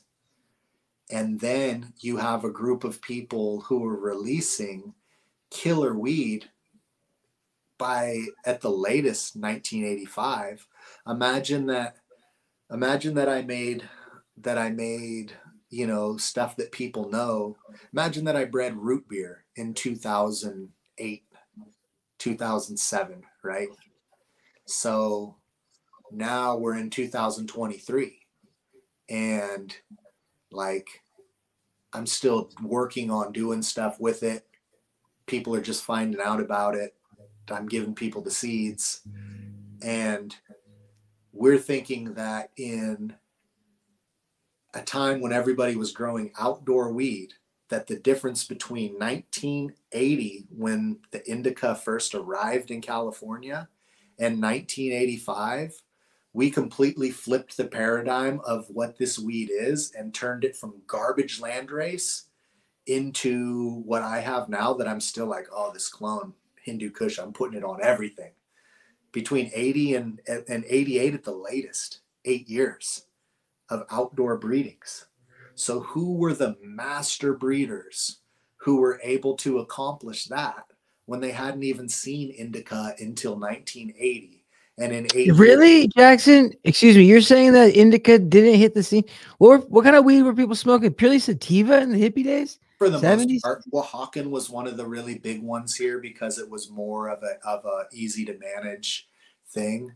Now, of course, there's people who say that they had Afghani as far back as the late 60s. And although some of the stories are super dubious, I believe it because I know for a fact that the hog farm hippies all went to Afghanistan in like 1967 or 69, way back when. And they got a really warm welcome. And you can't tell me that they weren't already smoking weed and dropping acid and that they would have overlooked the fact that there was really, really phenomenal hashish in Afghanistan and not wondered about, hmm, I wonder if we could grow this stuff back home, you know? So there the, the way that things were back then, nobody would have been like, hey, I got the seeds. Nobody's gonna say shit. They're not gonna write it down. They're not gonna take a picture. They don't want to fucking go life in prison for some fucking for some Afghani. So the the, the earliest re- recorded real verifiable claims of indica meaning pakistani or afghani reaching like this area um, is like 78 but i know for a fact that stuff that's in my stuff didn't arrive until like 84 so that's when like the big the bit like the Mazar really like went around was like in 83, 84, 85. So my point just being that that eight years, or let's call it 10 years, let's call it 10 years between 78 and 88, when we can verify the first definite arrival, and 88, 78 to 88, when we know that Hindu was at least here since 88. Even though you're acknowledging that in the, excuse me, in 69, Hogwash went out there the hog farm. So hog farm. I'm I'm I'm saying that yes, it could have been there, but what I'm also saying is that I know for a fact that stuff that's in my stuff that I got my hands on in 93, 94, right? That had already been killer since it arrived. And I know because the people who got the seeds from the dude who brought the seeds back from Afghanistan, the seeds were the shit when they arrived in 84, 85. But I'm saying even with something like the Hindu, it's unlikely that it arrived before 78. And the weed that I'm still saying is really killer and I'm excited about it in 2023, we know it was already at that stage in 88. And as a breeder, breeding a lot of stuff outdoor in a lot of cases over my breeding career, I find it hard to believe that the weed went from being some shitty landrace in 78 to the Hindu clone I have in 88 I don't I don't buy it. I think that when it arrived in 78, people were like, damn, this is some fire. Make some seeds. And then it probably got made a few times and somebody started selling seeds of it. And it was just like what we got right now. And I've said that before because it's my, you know, I really, I really believe that. I don't think that, um, you know, that there, that you can't, you couldn't have got like really high grade weed. And, you know, yeah, was it lemon cherry gelato? Was it, animal cookies? Was it OG Kush? Well, probably not all of it, but I'll bet if you grow a fucking thousand females of the original imports of Afghani, there was one or two that you would go, yeah, because because I know that through hybridization you can get things to pop out that are better than what went into them just because of hybridization and hybrid vigor and um, you know other little things that happen when genetics combine. But um, for the most part, I think the things that are really valuable that we want, which is like extreme potency or extreme flavor, I think usually the cases that they exist, and it's just a matter of finding them and getting them to be a little bit more frequent and show up more often in a population, as opposed to thinking that they appear out of thin air through the magic of improvement and breeding. I think that in most cases, it's like they they're there. And I mean, some stuff a lot. I mean, I've I've had for myself. I've had really special things happen from combining things. So I know that there could have been a lot of improvements, but I also know that yeah, like black lime is really cool to me because it has the liminess from one side and the real good smokable potency from the other side. But the potency was definitely already there on the one side. I didn't invent that. It just carried over and was there. And anybody who breeds a lot too knows that potency, you usually don't pull it out of thin air. You pull it from one of the parents. So like if you want to use you you use OG and you make things you boost the potency. It's like with hot peppers, you use a hot pepper and boosts the heat. You don't just automatic it doesn't just show up out of nowhere. You have to usually find somewhere to pull it from. And so um, I think like with now with people using all these things like like you the stuff you got your hands on direct from Pakistan, direct from Afghanistan. I think when people grow these things, you grow 10 of them, you might go, yeah, whatever. It's kind of loose. It's not that great, whatever. But I think if you grow a thousand of them, you might find that one plant that is the parent that's carrying unique um, potency or unique terps or whatever it is, you know? And um, so I think some of them, it's going to be like a crazy odyssey to turn it into anything good at all because it's just not that great. But I think that there's other ones where it's like, no, it's we're calling it a land race, but don't don't cons- don't think that it's going to be like some loose ass weird bush sativa that is all shit because these people have been trying to get big yields of hashish for thousands of years, and this is what they got, and they're not just going to you know, think that it's good when they're not, they're growing the whole field and they're not getting any hash, you know, or it's just smoking like shit. Like there's, there's got to be real valuable traits to, to adopt out of those, you know? But ultimately, you're saying like the Hindu Kush is an example. Sacred Seeds did the work. Are they NorCal, SoCal based? Do you know? I believe they were in SoCal somewhere. I'm Big not Sur, probably. very well versed on the history of all that kind of stuff. And I also noticed that when you try to dig into history of everything, it all comes down to one somebody's word on it, and this is how it was. And then there's always someone else who says, no, it wasn't like that. And so it's a lot of like back and forth, like, oh, you want to know what the original story is of the sour diesel? Cool. But if you find all the people who agree that they were the first people there, they don't even agree. You know what I mean? Even if you ask like me and my friends about some stuff, we might be sitting in a room and one dude will be like, "No, I remember it like this," and you're like, "Bro, are you serious? It's the you remember this?" And they go, "Oh yeah, yeah, yeah."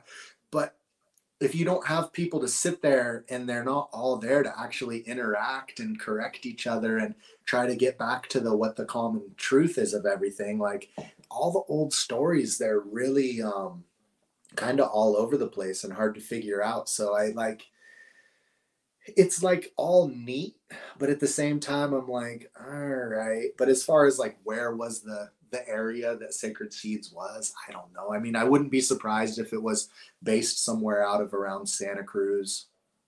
Um, that was like a place where stuff was really going on a lot of people moved here from Santa Cruz. My parents moved here from Santa Cruz. My buddy's parents moved here from Santa Cruz. They were tied in with, you know, Brotherhood of Eternal Love and all that old stuff and like uh like bands. Like there was like a whole bunch of bands that were down there and there was this place I can't remember what it was called, Chateau something. And if you if you look into it, there's like a real deep history there of all that stuff. And a lot of people who moved up here they were part of that kind of like commune type area where everybody was, you know, into all that kind of stuff. And um, I wouldn't be surprised if they were tied in with that as well. Um, they might have been unrelated, but that was like a one of those real central um, hubs of a lot of stuff that happened, you know, with all the people who were, you know, um, making acid and you know different you know bikers and all the different stuff because there was you know the the outlaw counterculture kind of had to stay in these little pockets and uh, Santa Cruz was one of the major ones. And you talk to people, and like I said, you know, like there's there's like a little place like that, like in Tennessee. There's a place like that in Virginia. Um, there's different places where there's these little pockets of uh, of people, but um, yeah, and I'm not exactly sure where uh, where they were out of down there, but you know, I always kind of think of that as being where everything was, but that might just be because of all the other stories, you know. Well, I keep on going back and forth because I mean, um, I took I, I, missed a step. So I'm saying we're talking about land race and how again from 78 to 88. I agree. I, I agree absolutely. And given my personal experience in Pakistan, you know, the culture is to welcome your guest as if they're your, your long lost brother like your twin brother, older brother, or just you know something like your father or something. I mean, yeah. I mean, not maybe that's not the best example, but like a kindred, like a kindred family member. And yeah, yeah. I would assume that as you know to validate what you're saying, they were given the best, you know, when they visited Afghanistan. Whoever came through and did the damn thing. It's the best of the read the best. They, they would scout out. If it wasn't like it didn't have to be your contact there where, where you're staying, they they'd go travel, you know, by horse and I don't think there's telephones back then, shit like that. But you know, make sure you got the dank seed for sure. So it's beautiful. I, and so again, you're tracking this by a decade, 78 to 88. So you bring this up because really, um, it, ha- it hasn't gone through so many hands as we think it has. It hasn't seen as much genetic fluctuation as we think it has. Is that is that the point? Yeah, the point is that uh, when I hear people talk about it, is those two extremes. You know, people are like, "Oh, land race is all bullshit. Good luck with that. It ain't what you think it's gonna be. It ain't fun. You're not gonna find nothing. It's not worth it. Just go ahead and get the cuts that you know about and hit them and get some good seeds from somebody, and then." you know the other end of it is thinking that land race is naturally like perfect parent stock because it's 100% consistent. Thai weed is thai weed afghani weed's afghani weed. And what i'm saying is that you have to know which one of those it is because in some cases both could be true. And in a lot of cases you're actually going to be in the middle towards one side or towards the other you know and um and you can see like things like bodhi brought back like that watermelon hash plant and I think that was a Nepalese, if I remember right. And it's like, it's really cool. It's rough. It's not like a big yielder, but you can take it and make hybrids with it. And it's something novel that adds a new thing to the mix. And um, sometimes just the stems growing in a different pattern through the flower or the the pods the bracts actually getting a different shape or um, a resin head forming a different shape with a different different place where it breaks off or any one little trait could be like this really valuable thing. And it doesn't have to be it doesn't the, the whole thing doesn't have to be good altogether. You might just go oh i i needed that one thing. Now i incorporate that into what i'm doing make sure that it stays. And then now you've just improved things by using that one valuable little thing. And in some cases you might get something like the mazar seeds that i got and you're like these are just good. Just make more of these and you can grow this. This is killer weed. You don't need to do anything to it. It's already a very good type of weed to grow. And in other cases you might be like oh i grew some and they weren't very good but i think there's going to be something really good in here somewhere and maybe you grow out a thousand and all of them suck for everything that you were hoping you might get out of it, you know? And, and, at the same time, it's still worth making at least some seed of those ones that you can't find anything valuable in because the fact that they don't have any of the desirable traits that you want means they're not like the things that you're keeping already. And it might have a trait that you don't know is valuable yet because we only know what traits are valuable when we we have a use for them. But you might not understand that like i said it's carrying a resistance to a disease you haven't faced yet.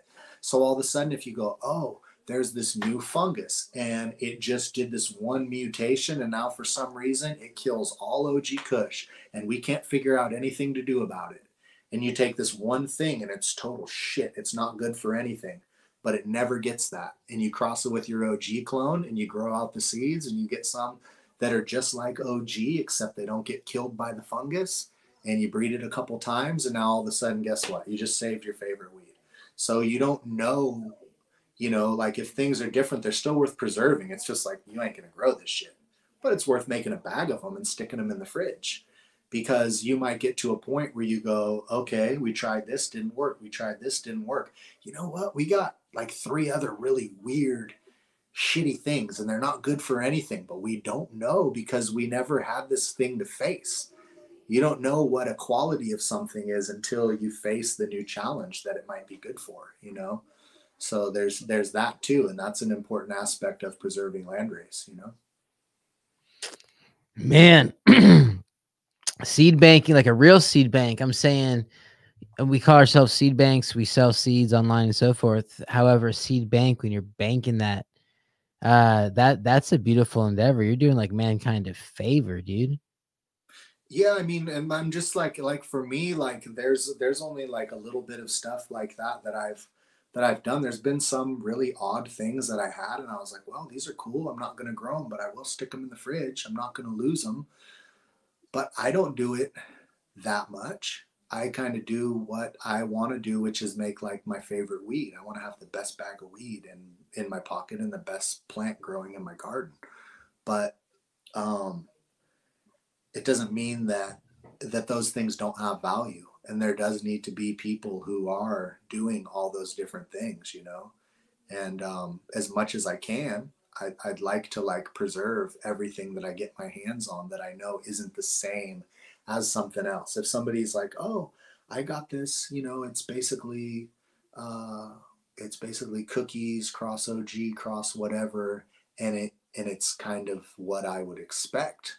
Then I'm like, that's cool. It's very usable. We could do something cool with it, but I don't feel as responsible for it because I know a lot of people have that in the fridge right now. You know, but like I got some stuff from my buddy years and years ago, and he was like, I got this thing. It's from Kentucky. It's supposed to be really cool. Um, you know, like they were supposed to be skunky, and I grew them. I wouldn't say they were really skunky. They were kind of foody. They smelled weird. They were acrid. They weren't sweet. One got very purple. They looked nothing like any plants that I've ever grown. And they were neat and when they finished the seeds were like dark dark like black seeds and they were just beautiful.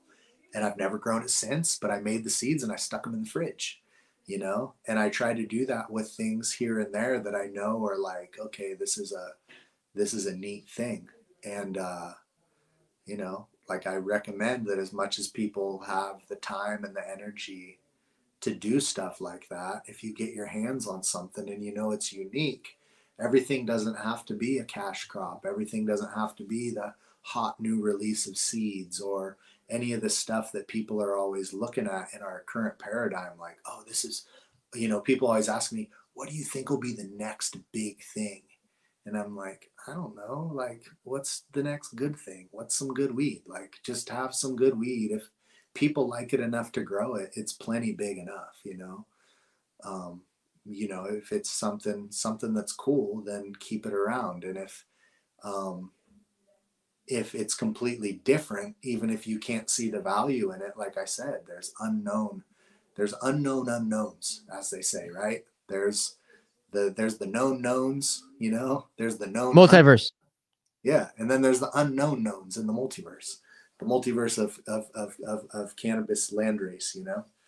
So I like to, I like to call it the marijuana multiverse because I'm taking back ownership of that word just on a cool. personal. I'm on a personal vendetta. any of the words, you know what I mean? I don't care. I still call it dope. People are like, dope, that's heroin. I'm like, I don't know. I've been called dope grower for decades. So, like, you know, little dope patch. I got no problem with it. And when you smoke some really good weed, you're like, that's some fucking heavy dope. Holy shit sometimes it's it hits you like it's some some fucking drugs, you know. It is like this is not an herb, sir. This is not an herb. I. It all depends, you know. The only person I've heard talk like that is uh is Kevin, you know, calling it dope, you know.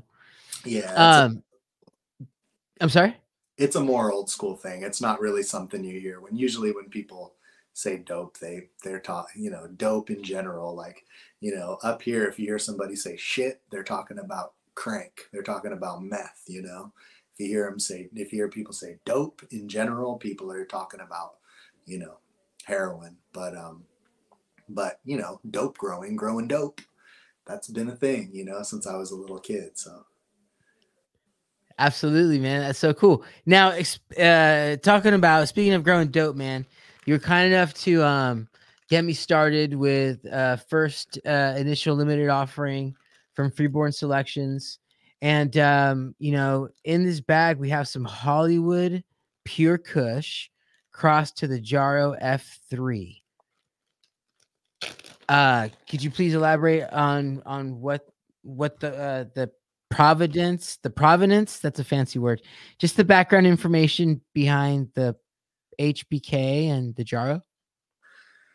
So the Pure Kush is an interesting one because there's several Pure Kushes. Um, I've been told by various people that what I call Hollywood Pure Kush is what is supposed to be called Hollywood Pure Kush and not the others. I've also been told that ooh, the type that I have is supposed to be called Topanga Canyon Pure Kush, and I can't I can't say exactly what I have is versus these other cuts, having not done a thing where I grow all of them side by side. I have grown the Topanga that Kev has, and it's definitely like the same genetics, if not the same plant. Um, but I got it as PK and it came from Hollywood, right off of Sunset. And um, that was a dude who basically had all the different OGs fairly early out. Not as early out for like the OG LA guys, but as far as like, you know, early 2000s, this dude had all the different OGs running through his house. And he mainly had three basic types. One, like what people would call the SFV, um, and would like encompass all those that are like that, which would also be like what people call ghost, what people call. Now they're all different, don't get me wrong, but they all smell like what you think of as a classic OG. Then there was another one that smelled like what we call gump, which is something that I've been pulling out of the double limes a lot. And it was a lot more citrusy. It was like a lime mandarin kush. And it looked more a little bit more sour headbandy where it wasn't like the golf ball pine cone no leaf og it was a little bit more a little more out there and nipply and different and it was really really fire and i still don't know what the hell that was. That was something different. And then the other one that he had was what they called pk and he was like the pk that's the one. And it was um, just for whatever reason those batches and at that time it was like the the, the hitter. It was the stronger one. Um, it tasted more it hit you harder in the head and the lungs and that that's the cut that i have. Well uh you mentioned the early 2000s now i know the hollywood pure kush as 91 hollywood pure kush and i've grown it thanks to having getting the cut from kev years ago. These this has no relation correct the one that Kev has that he calls Hollywood Pure Kush is like a Bubba in a sense. It is more like what my Hindu is, where it's squat and it's very frosty and it doesn't smell like OG. It smells more like Bubba. And that is um Bubba's acrid. Bubba's it's like fuely. Bubba's it's like I don't know. I mean, as I understand it, the one you're talking about is the more like deep, earthy, cushy Afghani. It doesn't smell like OG, right? No, it's really fuely. It smells strong. It's like you're like, damn, it's gonna get me fucking high. Yeah, but I mean, does it smell like OG Kush or? It smells cushy. It smells really strong. It smells uh, distinctly like turbo Kush. You know, I don't know how to say it. You know. Okay.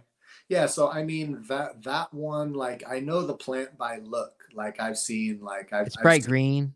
I've seen the hmm. plant in people's hands of what Kev calls the the Hollywood, and then the one that he calls Topanga is the one that's closer to what I'm talking about. If you've ever seen his Topanga, Uh-uh. It's like OG. It's just straight OG. It's viney. It has little leaves. They're really narrow unless you get it real happy, and then they get real thick and different. And it has like these little branches.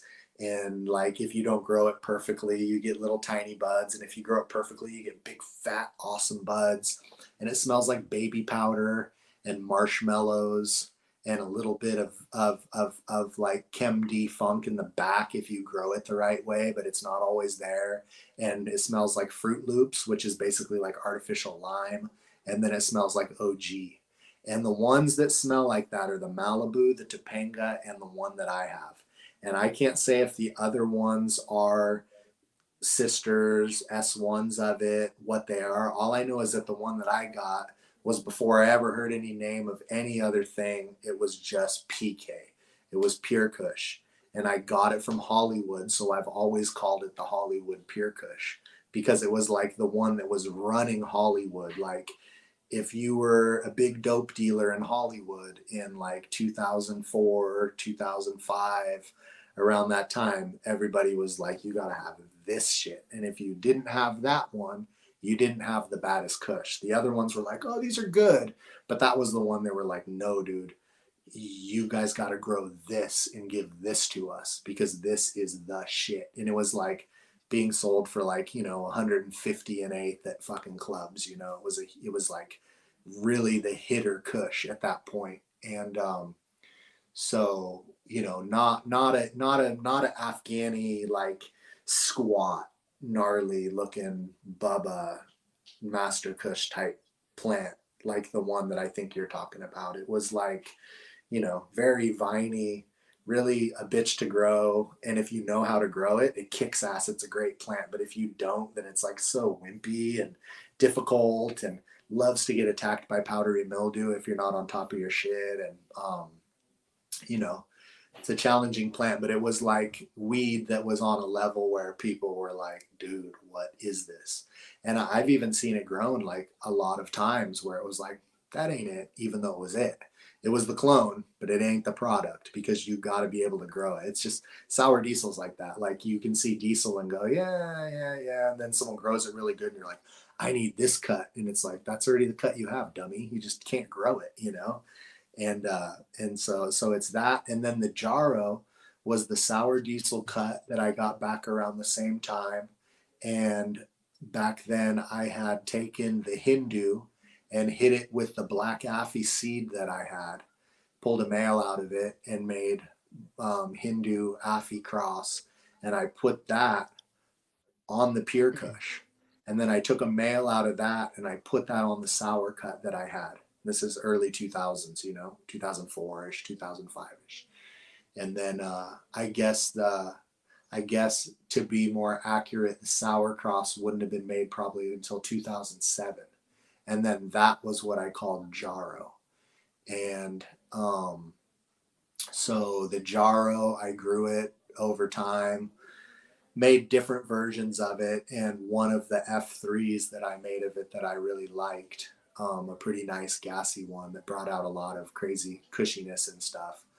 Um, I took that and put that on the on the PK, and that's what those seeds are, and they come out nice. They're they're more PK than Jaro, but they have the influence of the Hindu and stuff in there, where they're they're um, I don't know they're I, I call it like spiny. They're like they're very like they're they're bracts really like stick kind of straight out everywhere. It's like I don't know, hard hard to describe properly, but it's like kind of like cactusy or something. It's cool.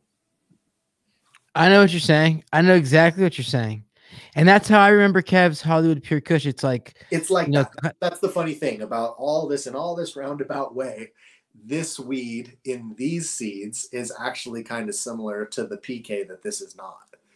You know what I mean? Because it has the Hindu and the Black Affy added to it in the background there, it brought out part of the of the genetics that are in all of it that make it wind up being as opposed to being more like the the PK that I have, which is more of a I don't know. It's a it's it's different. It's not quite. This made it like more neatly shaped and more even, more fractal, if that makes sense. Like more like it's like a repeating pattern. Whereas the the PK that I have, when you grow it really good and it gets big and fat, it's a little bit messy almost. It's like yeah, describe, but it has a lot of the little tongue-shaped leaves sticking out everywhere, and it's a little bit more kind of knobby and everything, you know. Whereas the the the, the hybrid, it has a little bit more of that neatness that you'd associate with like a Bubba Kush or something like that.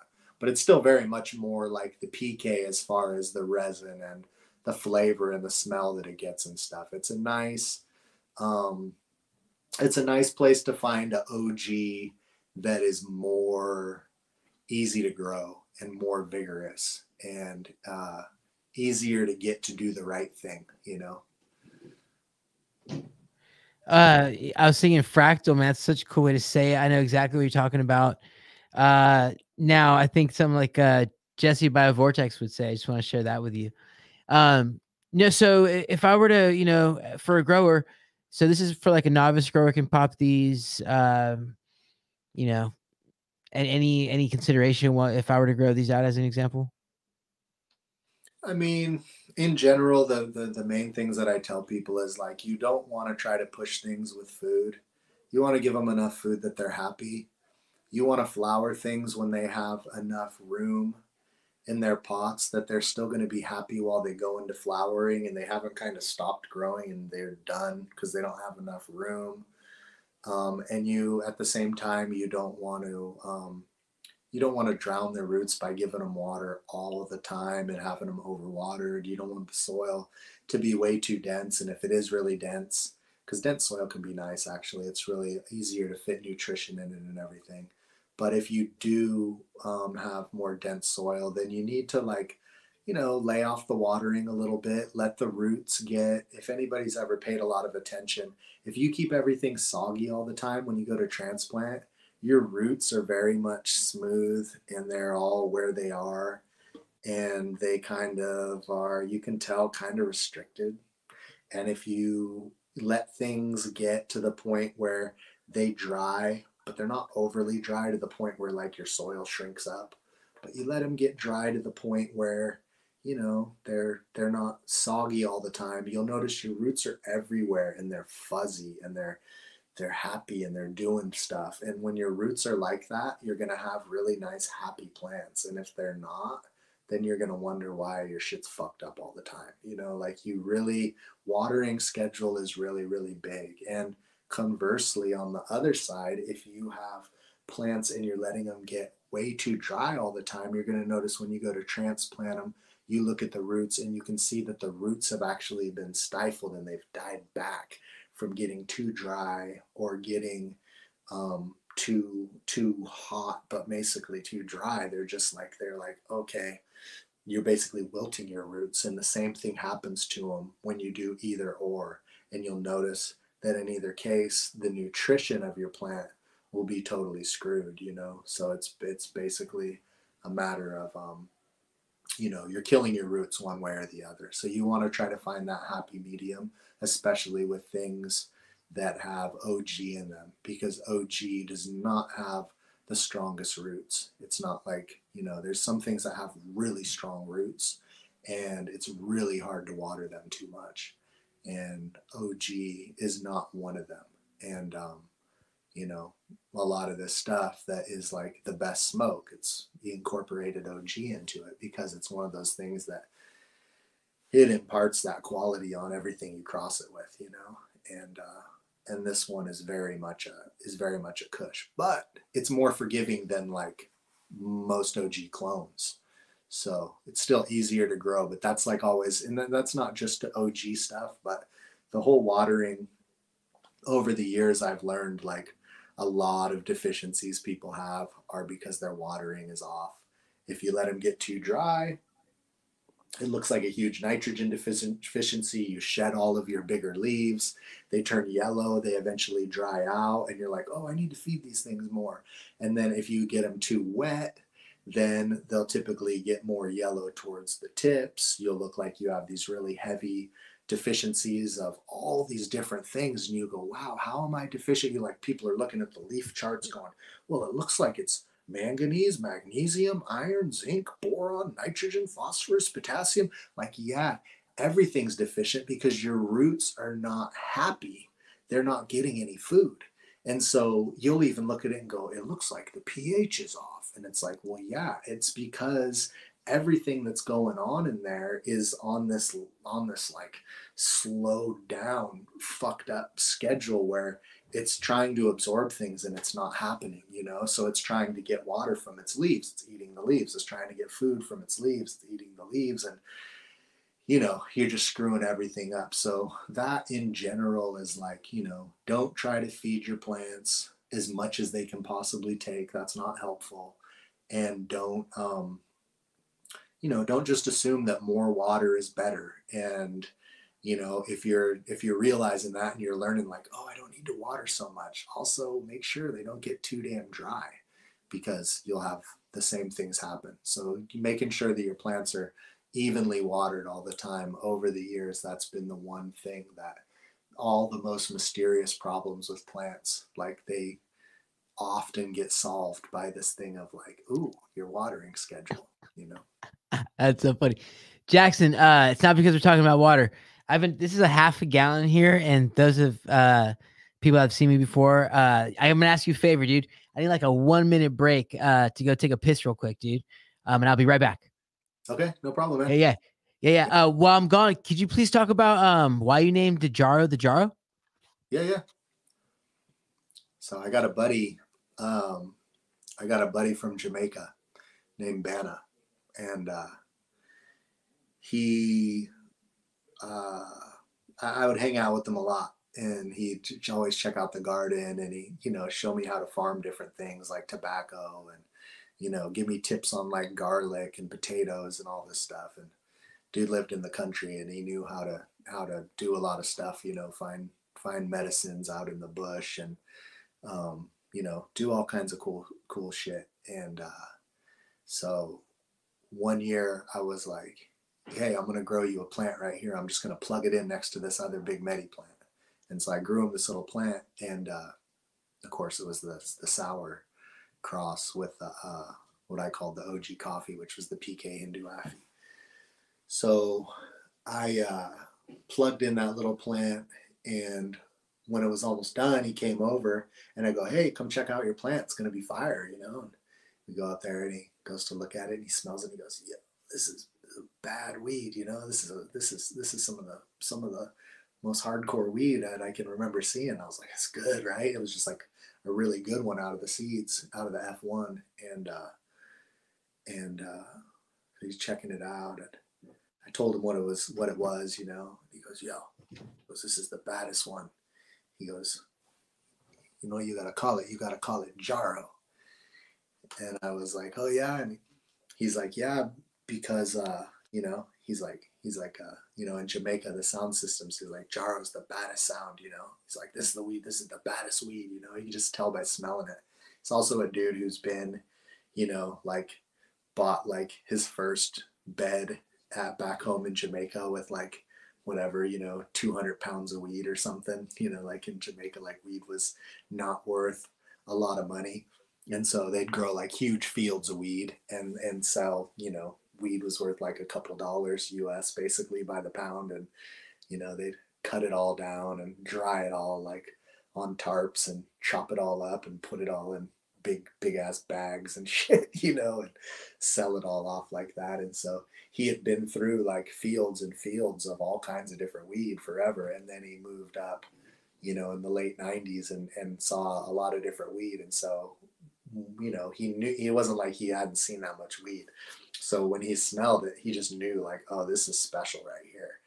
And uh, so that that was how it wound up getting the name because uh, Jaro is short for Kilimanjaro, which is the uh, sound system in Jamaica, where like Ninjaman and Super Cat and a lot of other real famous uh, famous dudes got their start. Um, basically rapping on that sound system in the middle of the night in Jamaica for years, you know, in uh,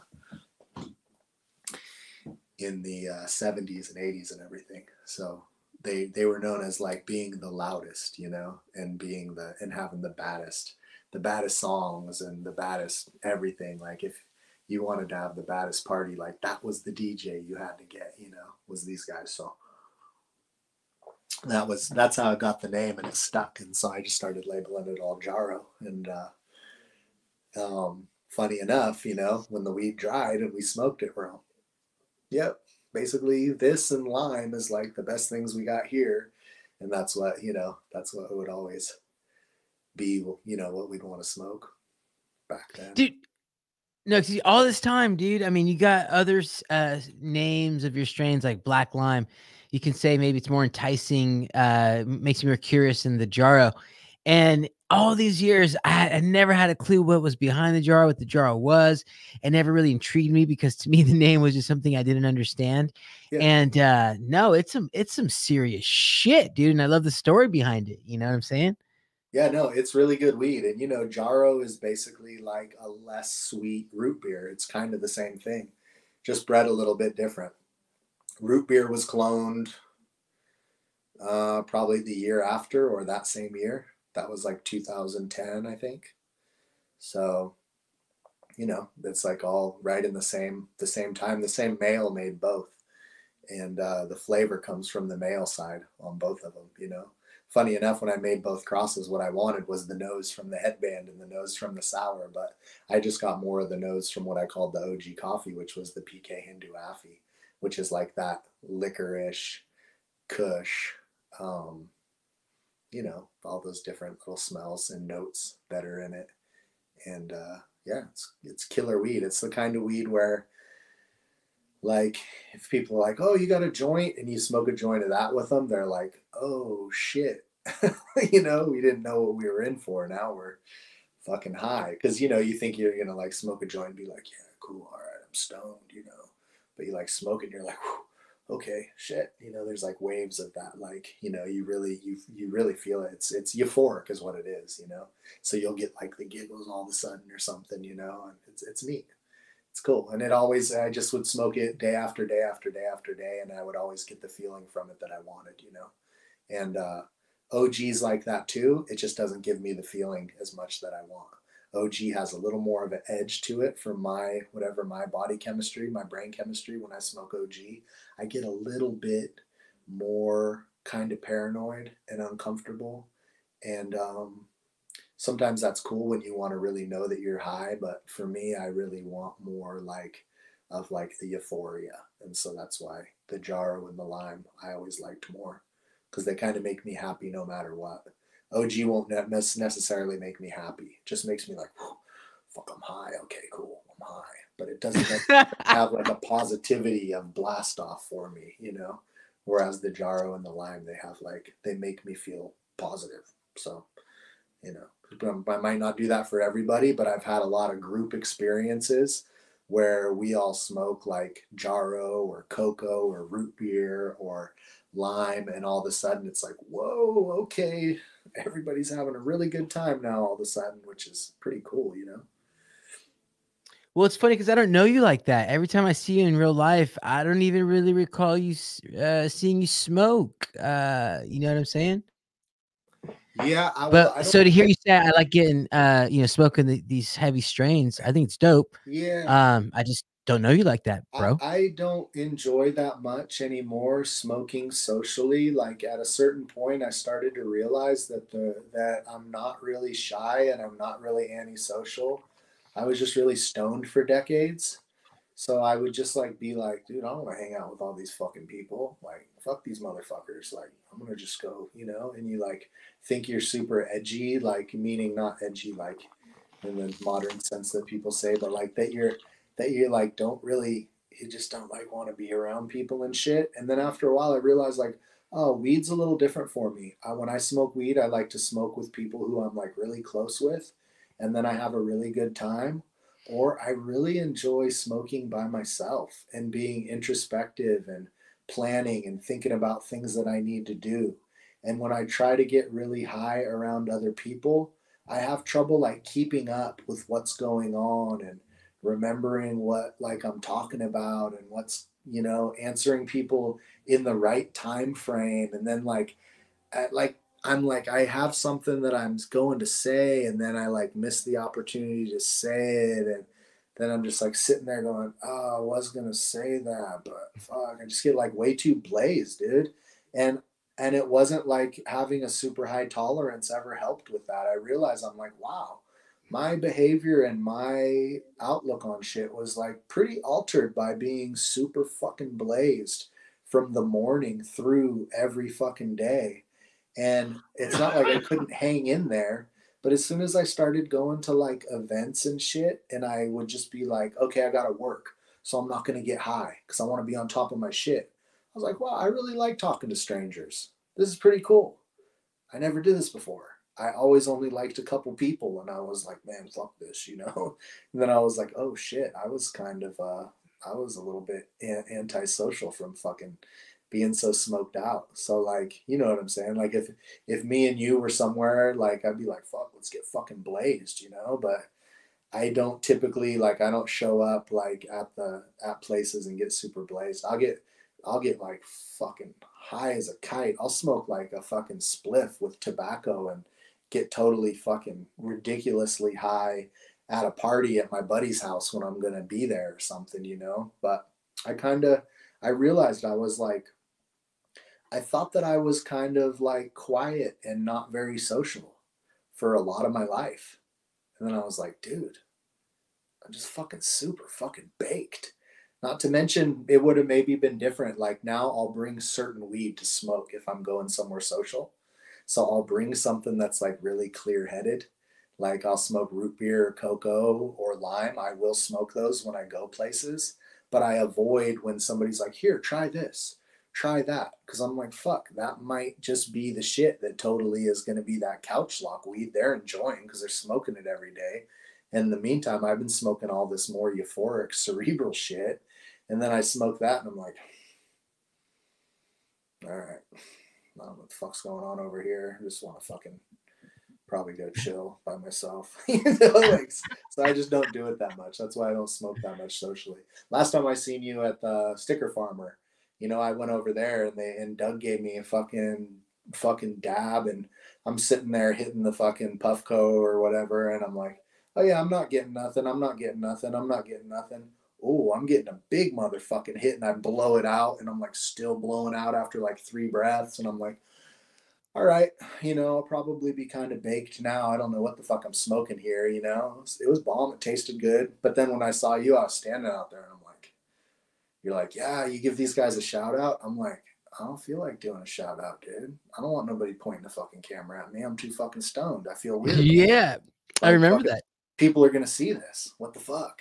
You know? And then I was like, you know what? Who fucking cares, dude? Don't let that shit, you know. And I'm like, oh, what up, guys? And it was all good. But like, you know, it does that to me. It makes me kind of like, um, it's it, it it turns you from being somebody who I know pretty good to all of a sudden being like, man, I don't really know, I don't really know Danny that much. I've only met him like maybe like five or ten times. Like we've chilled. I know he's my boy, but fuck, dude, like I don't, I don't, I don't know if I know him like that. I get all weird and high and shit, and I go, fuck.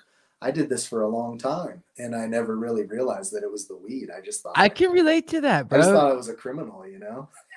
no, no, hundred percent. That's exactly you. what I was saying. Is that no, you get high, right? And you're like, dude, can I really trust this guy? Like, you know, what the fuck's really going on here? Am I protected here? Am I protected there?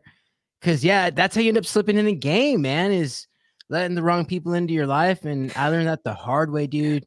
Starting yeah. off with the first chick I fell in love with, but yeah. uh, I think you're good at that. By the way, I think you're pretty good at that.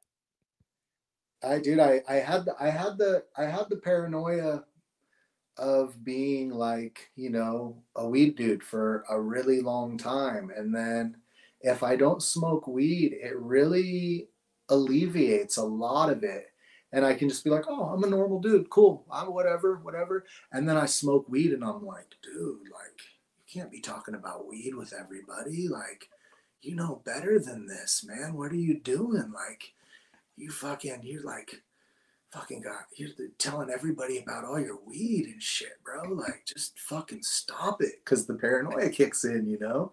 But it can be paranoia about all kinds of shit. It doesn't even have to be logical. So when you got something like like like me doing this kind of shit, like talking about yourself, oh, and these stories, and oh yeah, and whatever. It's like when I get super baked, dude, I'll be like, if I come in here and I get super baked, my answers will be way more closed off be like, yeah, dude, yeah, you know, I know Ted. I met him back in the day. He's cool. He's legit, bro. Trust me. He's cool. Good dude. You know, but if I don't smoke weed, then I'm like, yeah, you know, I met him here and I met him there, and you know, it's fucking. That's how you were growing up, huh? Is that how you were growing up? What, as far as being paranoid and everything? No, no, no. no as far as like not talking to people or talking to people like that, short answers or Oh, dude, it's in my. It's just like, yeah, it's like that's normal for me. It's not normal for me to like, like I like you will never in your life see me ask somebody what they do for a living. I would never do that. You know what I mean? I was joking with a friend of mine. Uh, showed up the other day and he was doing something with a shovel, and I was like, "Oh, who you burying?" You know, and and uh, and he starts laughing, and I go, "I'm just fucking with you. You know, I would never ask you who you were burying." You know, just fucking, just, just, fucking around. and I go, no, seriously. I'm like, dude, I, I go, I'm just joking, but dude, I, I wouldn't even ask, I would never even ask you what you do for a living. Like, it's not in my repertoire of how I interact with people, but like that, a lot of that too, like the, the weed doesn't help all that stuff. And so, you know, like now if I'm like at a weed show and everybody's there and they're doing their thing, I might ask, oh, what do you do? Because I know that it's okay but from like my background like you don't ask people what they do and not because i assume they do weed i don't know what they do. Fuck who knows what they do? I don't know what they do. I don't want to know. I don't want to know what the fuck you do. Just good to meet you right on. You do your thing and please don't ask me anything about myself because i don't want to talk about it at all. So that's why now like when it actually is important when you like have seeds and you want to tell people shit. Like it's important for me to be able to not be stifled like that. So now when I smoke, I like it to be a more introspective, meditative type thing, you know, where it's like, okay, cool. Like we go to the river. Oh, let's get fucking stoned as shit, dude. We'll swim around and shit, drink a beer, listen to some tunes, fucking go for a walk and shit. But like, you know, I can do all that. That's or if we want to work, you know? Like i can sit here and oh let's work let's go do let's dig some stuff cut down some stuff whatever we're doing. Yeah i can do that that's fine. But in social settings i've never i've never been good with it. And you know it's just the way weed affects me man. It just not it's not that great for me for that you know? No that's what i'm getting to you, bro is i think it's really about uh it triggers you back. In my humble opinion, I'm not telling you about you. I'm just sharing with you my my opinion. Yeah, yeah. Is uh, I think it brings you back to because I remember uh, selling weed in the 2000s and growing weed, and you met me. I was growing weed and shit. To take to handle my hustle every day, I'd fucking get ripped every day, dude, and just fucking get lit. Because at any moment you get pulled by the cops, or you're, you're at the grow house, you know, living at the grow house, etc. Uh, so I, to me, I just as a fellow professional, I feel like you don't like those heavy highs because it takes you back to that mindset growing up. And um, what was I gonna say about that though? Regardless, is uh, um, no, man. I think that's another thing is that the plot thickens because it's cool to learn layers about you. You know what I'm saying? And and somebody who's as passionate as you are definitely has to have a history in the game and like I said, I'm not here for you to divulge anything or to push for anything. I'll say that one of the things that I do admire about professionals in the triangle, including Ayana's dad, which Gil Grigori is well known as an activist in restoring the Watol River Delta. If I, I'm pretty sure I said that right, out in Edwardsburg. And you know what? When I ask him about anything to do with Dank, he like he's not he, he's smooth about it because he's a character. He's hella cool. He's a, he's a old hippie man, but like he won't talk about it. He won't. And it's pretty pretty admirable, you know. So uh no, I always suspected. I never knew like your personal history with it because you know, like a professional, I don't think you talk about it too much, and it feels good to come out of the green closet, dude. You find it to be therapeutic to go and socialize with people. Yeah, I mean, I love it, you know, like it's it's just one of those trippy things. Like it's it's really interesting to see how many people, you know, being back in the day, you kind of might know that there, you know, you know there's people doing stuff and everything, but it's not, you know, it's not you're only ever in close enough contact with a certain amount of people to be able to be like, so you you grow, you're growing some weed, you know, like what's up with what do you grow? Like what, how do you like to do it? Or what do you feed in or whatever is like that. Like for a long time, it just wasn't that, that wasn't something that was, that's not a thing, you know? Like, um, I kicked myself all the time because there was all these people I knew who had these really cool seeds and I would have just never imagined like asking them for seed. Like that would have just been crazy. Like, hey, can I get some of those seeds from that thing? Like, the fuck are you talking about, dude? You know? in reality, a lot of people probably would have shared seeds with me. But for me, I was just kind of like, that just that seems crazy. Like that's stepping on toes like crazy. You know, that's their special stuff. You can't like ask them for that. That would be that would just be dumb. Like why throw away a friendship to ask them for something? You know what I mean? Just and then I realized like in hindsight, I'm like, that was way too overly polite. All they would have said was no if I can't have them. Sorry, my bad, you know?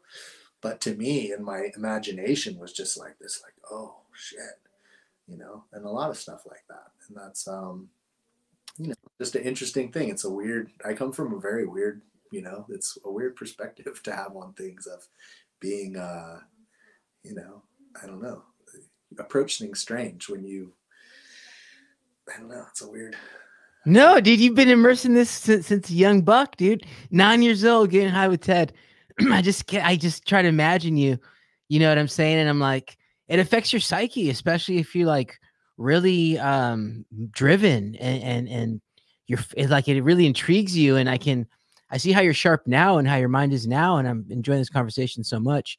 Um, that I can imagine you as a kid with this free space and free, literally free to roam, free will. You're in the community where it's popping. So it's it's dope, man. And I think we sacrificed a lot based on uh based on how to whatever levels we chose to take ourselves with our with you know dealing with weed against the law and uh, for me i think a part of the reason why i enjoy this so much is because yeah i'll be the first to raise my hand to say that i sacrificed a lot of socialization you know just phones going off pagers going off and i think you i think you can relate but for me straight up here in san jose people don't want to be your friend or they want to be your friend because you got good weed, but they just want their delivery fast. They want you to deliver that shit quick. And you can charge 60 bucks an eighth if it's the fire, you know. But besides that, it's like, you know, and also, I don't know if you've experienced this, but it's in Pineapple Express where the dealer mistakes he his his customer for a friend, you know. So there's all these kind of blurry relationships that that have the potential to occur. You get stuck having to smoke with your dealer in the in the movie. I think was Outlaws kind of right. But like you're like, oh no, hey, hang out, man. You know, yeah, I that's it's a, you know what I'm a, talking about. Yeah, yeah, no, there, there's a there's there's a funny thing there. I mean, for me, like I I had a I had like I had the luck of um of being like you know I had a I had a pretty good um, that is one advantage that I definitely had as far as being where I was from was that there was at least like a core group of people where you know like I always and that probably led to some of like the social anxiety and shit of being like in bigger groups um like I was uh, you know like the people who I'm comfortable with, I'm very comfortable with because I'm just like, yeah, whatever. I'm comfortable with whatever. It's like, I don't give a shit, you know, like I'm all the way comfortable. And then, you know, when I would go to like whatever, you go to like, we always had like the cool festivals here, like Picnic or Reggae on the River or whatever it was. I always like comfortable with my group, but like not comfortable with like the other groups, you know, like any other people. It's kind of like, oh, and then somebody like introduces you to somebody and you're like, oh, okay, this person's cool too. It's like, you know what? Probably most of the people are cool, but the perspective that I had was always like there has to be some kind of a, there has to be some kind of a connection there. Like if this ain't so and so's boy, I don't know this motherfucker. And after a while, you're kind of like, even if it is so and so's boy, I still don't know this motherfucker because you're always kind of worried that like people are gonna be a bad apple. You know, you you wind up like you wind up being like, okay, you could wind up in a real bad situation really fast for various reasons, as you know, as you wound up in some of the worst you could imagine. But you just don't know, you know, like who people are. And so, you know, that was one of the things I think when you smoke a lot of weed, you get very paranoid. What I would typically do when I would go to social places was weed would be like my anchor. So even if I was like high on shrooms or acid or whatever, I'd like always have weed with me. And if I felt a little bit off or I didn't know what to do or I was out of place or whatever, I'd go somewhere, I'd sit down and I'd roll a big fucking joint. And a lot of times I'd roll maybe another two or three right there. And if someone was around and I could tell like, oh, they wanted to smoke, I'd just be like, boom, here's a big fat joint. Oh, you want a bud? Here's a bud. Whatever. And then that way, like you have a context, you know what the fuck you're doing there. What am I doing here? I'm smoking some weed. You know what I mean? Because in reality, like the social anxiety, you're kind of like, I don't know what the fuck I'm doing here. What am I to do? I was talking to my boy Humble Fun Guy the other day. Is like, well, you are there and you're looking and you're like, everybody else seems to kind of know like how to just have fun having fun. I'm like, I need a job. I need a task. I need a context. I need something. So after a while, you're like, I'd realize like, oh, I've, I'm just smoking weed. But the deal is, if I go to an event and I start smoking weed, that's all I'm doing. I'm smoking weed. That's it. And I'll sit there and I'll smoke. That's what's funny about people like, oh, you don't smoke. Like, no, if I come to this event and I smoke, I'm not doing anything else. I'm going to sit here, I'm going to roll weed, and I'm going to smoke it. I'm not really going to talk to you. I might have a drink, but mostly I'm just going to sit here and I'm going to smoke and I'm going to listen to music I'm gonna know what the fuck's going on, and I'm gonna be so fucking high that I probably can't accomplish much else. But if I go to the event and I go ahead and go, okay, I'm not gonna smoke right now. I'm gonna go here. I'm gonna stay away from getting super baked. Then I'll talk to people, be able to ask what's going on with them, explain what this is that I have that I'm giving you or that we're trading for and all this kind of stuff and for the weed events. So like if I go to like, you know, like I really like to go to like uh there's a reggae festival in Boonville called uh, Sierra Nevada World Music Festival. It's mostly they just uh, tickets went for sale like today, I think. Excuse me. Yes. So I like to go to that one because if I feel like getting like super baked, I know I can just go stand in the fucking crowd and I'll just watch the music. And I'll find you this year. I, I feel Next at home year. doing that. And, you know, maybe say a little something to you, a little something to whatever. Boom. We're watching tunes this is what's going on. But if I'm somewhere and the whole deal is everyone's just mixing and interacting and I'm super baked, I'm just going to be like, I don't want to fucking do this with my baked time. It's not what I like to do baked. Well, baked, let me ask you this. I like the vibe, you know? yeah. One of the cool things about the Emerald Cup, I've seen Tim Blake dance. I've seen him dance before.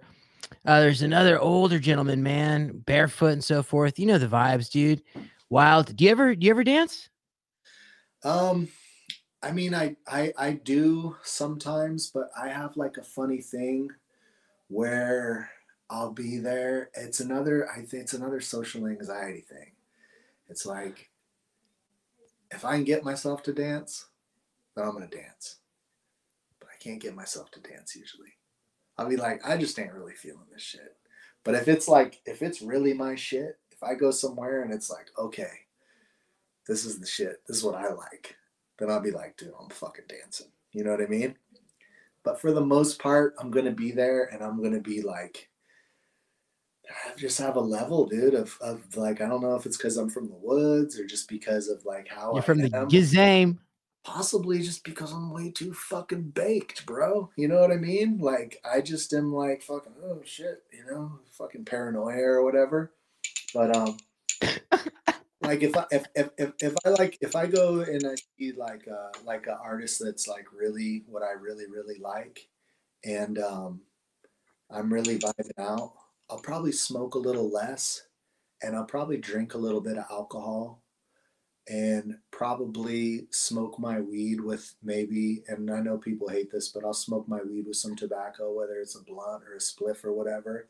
Takes off part of the edge. It makes it more of a stimulant and I'll be more energized and I'll feel more like oh more vibey and then like then I'll then I'll feel like dancing.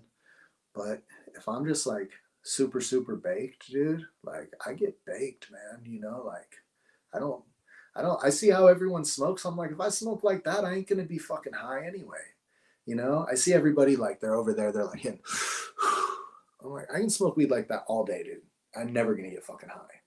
When I smoke weed, I'll like hit that shit you take all the way in your fucking lungs, blow that shit out. You ain't gotta hold it in, but you gotta take it all the way down in yeah. your fucking lungs. And you take two hits like that, I'll be higher than these motherfuckers who are baking fucking three grams of fucking rosin sitting there. I like see everybody hitting, like everybody who dabs, they go, they go, oh, you get it all as soon as it goes in your lungs. I'm like, the fuck you do, dude. You gotta even if it's in your lungs, but that ain't in your lungs. They hit it like this. This is your lungs. That's in your lungs. You know what I'm saying? And the difference is huge. Sometimes I'll sit and I'll smoke a whole joint and I'll be like, dude, I ain't that fucking high. And then I'll roll another joint and then I'll take like two hits and I'll really be like, fuck, I don't know if I hit it really good. And then I'll hit it really good. two hits like that and I'll be like, fuck, now I'm blazed, dude. You know? It's a funny thing like it's just it, it's weird but uh yeah i don't know man. Smoking is a it's a funny thing and it's it's a you know it's a personal thing too. I feel like people people think like oh everybody else smoking this much dope i gotta smoke this much dope. Or you know fucking i can smoke so much weed like it's a big fucking talent to smoke a lot of weed. It's like no. If you smoke a lot of weed you got a shitload of tolerance and you ain't getting high so the dude who's sitting there and he's smoking a fucking half ounce right now, and he's like, "Fucking these motherfuckers got baby lungs." I'm like, uh, actually, you haven't been high for seven years, bro. You haven't. You haven't fucking copped a fucking buzz. Go ahead and quit smoking for two days. Smoke that joint, and then you'll fucking feel high. But if you smoke high, uh, if you're high 24 hours a day all the time, you never get high. It ain't an accomplishment. It's like a dude who eats shrooms every fucking day, every day. And he's like, dude, I can, I can eat a fucking ounce. And you're like, yeah, anybody can eat an ounce if they eat shrooms for the last eight days. It ain't shit. But quit for a fucking month and then eat an ounce and tell me what the fucking difference is. And you're gonna be a lot fucking higher than, you know, what you're claiming. It's just a funny thing, you know. It's like and I used I used to be of that mindset. I'd be like, dude, these fuckers can't smoke. You don't smoke shit. I smoke so much. I can smoke so much. Nobody can smoke as much as me. Fucking Snoop Dogg don't smoke as much weed as I smoke.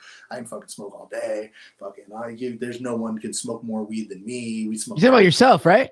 What's that? You talking about you? Yeah, yeah. Because that's because that's what happens. Because guess what? You build a tolerance to weed and you don't get high. So you, it doesn't matter that you're smoking so much quit for a month, come back, smoke the amount of weed you were talking shit about then, and then show me that you, as a human, can smoke more weed than anyone else. Because guess what? You won't. The only reason you can smoke so much dope because you don't get high. So you're basically bragging about the fact that you don't get high. That's what you're bragging about. Whereas me, if I don't smoke that much weed constantly all the time, and then I go ahead and I fucking smoke two or three joints. Like I'm I'm way higher than you've it. been in the last 15 years. That's just how that's how weed works, you know? So like for me, I'm like, I I always smoked all the time. And I thought it was hot shit to smoke all this weed. And I thought it was fucking great that I can fucking sit here and give you this weed and I'm fucking I'm like I'm like this with white eyes and you're over there and you're fucking throwing up because the shit is so potent. But the reality is that it's only because I have so much tolerance that I fucking don't get high. And after a while, I was like, do I really want to not get high? This seems lame. I'm basically just putting all this shit in my lungs and I'm like getting nothing from it except staying normal. And then, you know, I don't really I don't really think it's a big thing to boast about. But if you do it, that's great. If you want to smoke a quarter pound a day, right on.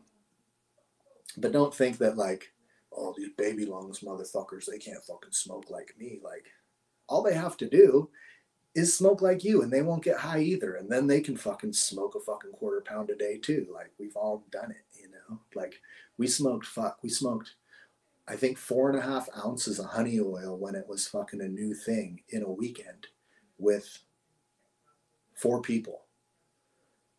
My buddy got hospitalized in Costa Rica after we left and went there a few days later. And nobody could figure out what was wrong with him. And at the hospital, they said it was THC poisoning. And they said that they had never seen anyone with so much weed in their body ever and that he almost killed himself with THC. Now we didn't believe it, and I still don't believe it, but it was fucking hilarious. And I mean, we smoked, you know, in a day we were each smoking fucking whatever, you know, nine grams of fucking honey oil in the days when it fucking first started a piece or whatever that would break down to, you know, basically. Uh, no, we smoked probably 15 grams a piece each day you know, or, or over the course of a weekend. Yeah. So it's a lot. But the reality of it was, was like, yeah, we, we were still not any higher than anybody gets when they're not a smoker and they take a bong hit. You know? Now, if you take a non-smoker and you give them fucking 15 grams of honey oil in a weekend, sure, then that might be an accomplishment. But for people who smoke all the time, you don't get high anyway, man. You know, like well, fucking, no, excuse I, I totally understand what you're saying. I totally ag- agree, hundred percent. You build a tolerance.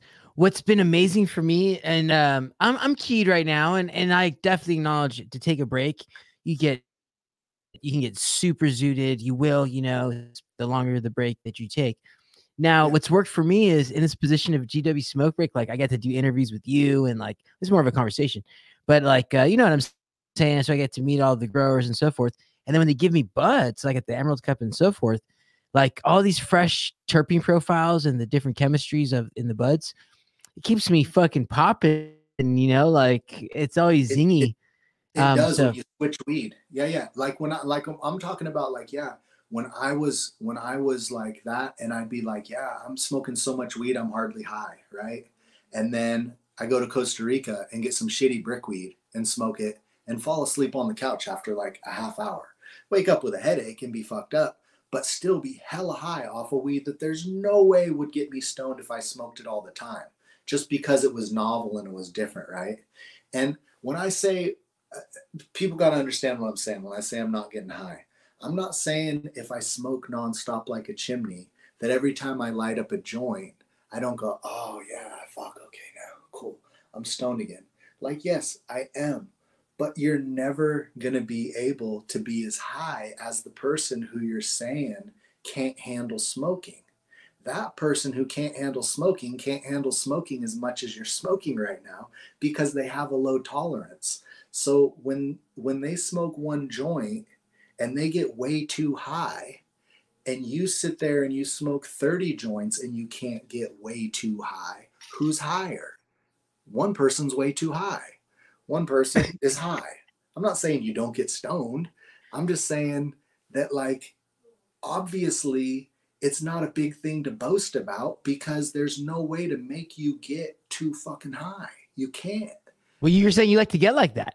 Well, I'm saying that I'm I'm saying that like it's just a different thing. I'm like I'm that's why I said it's personal.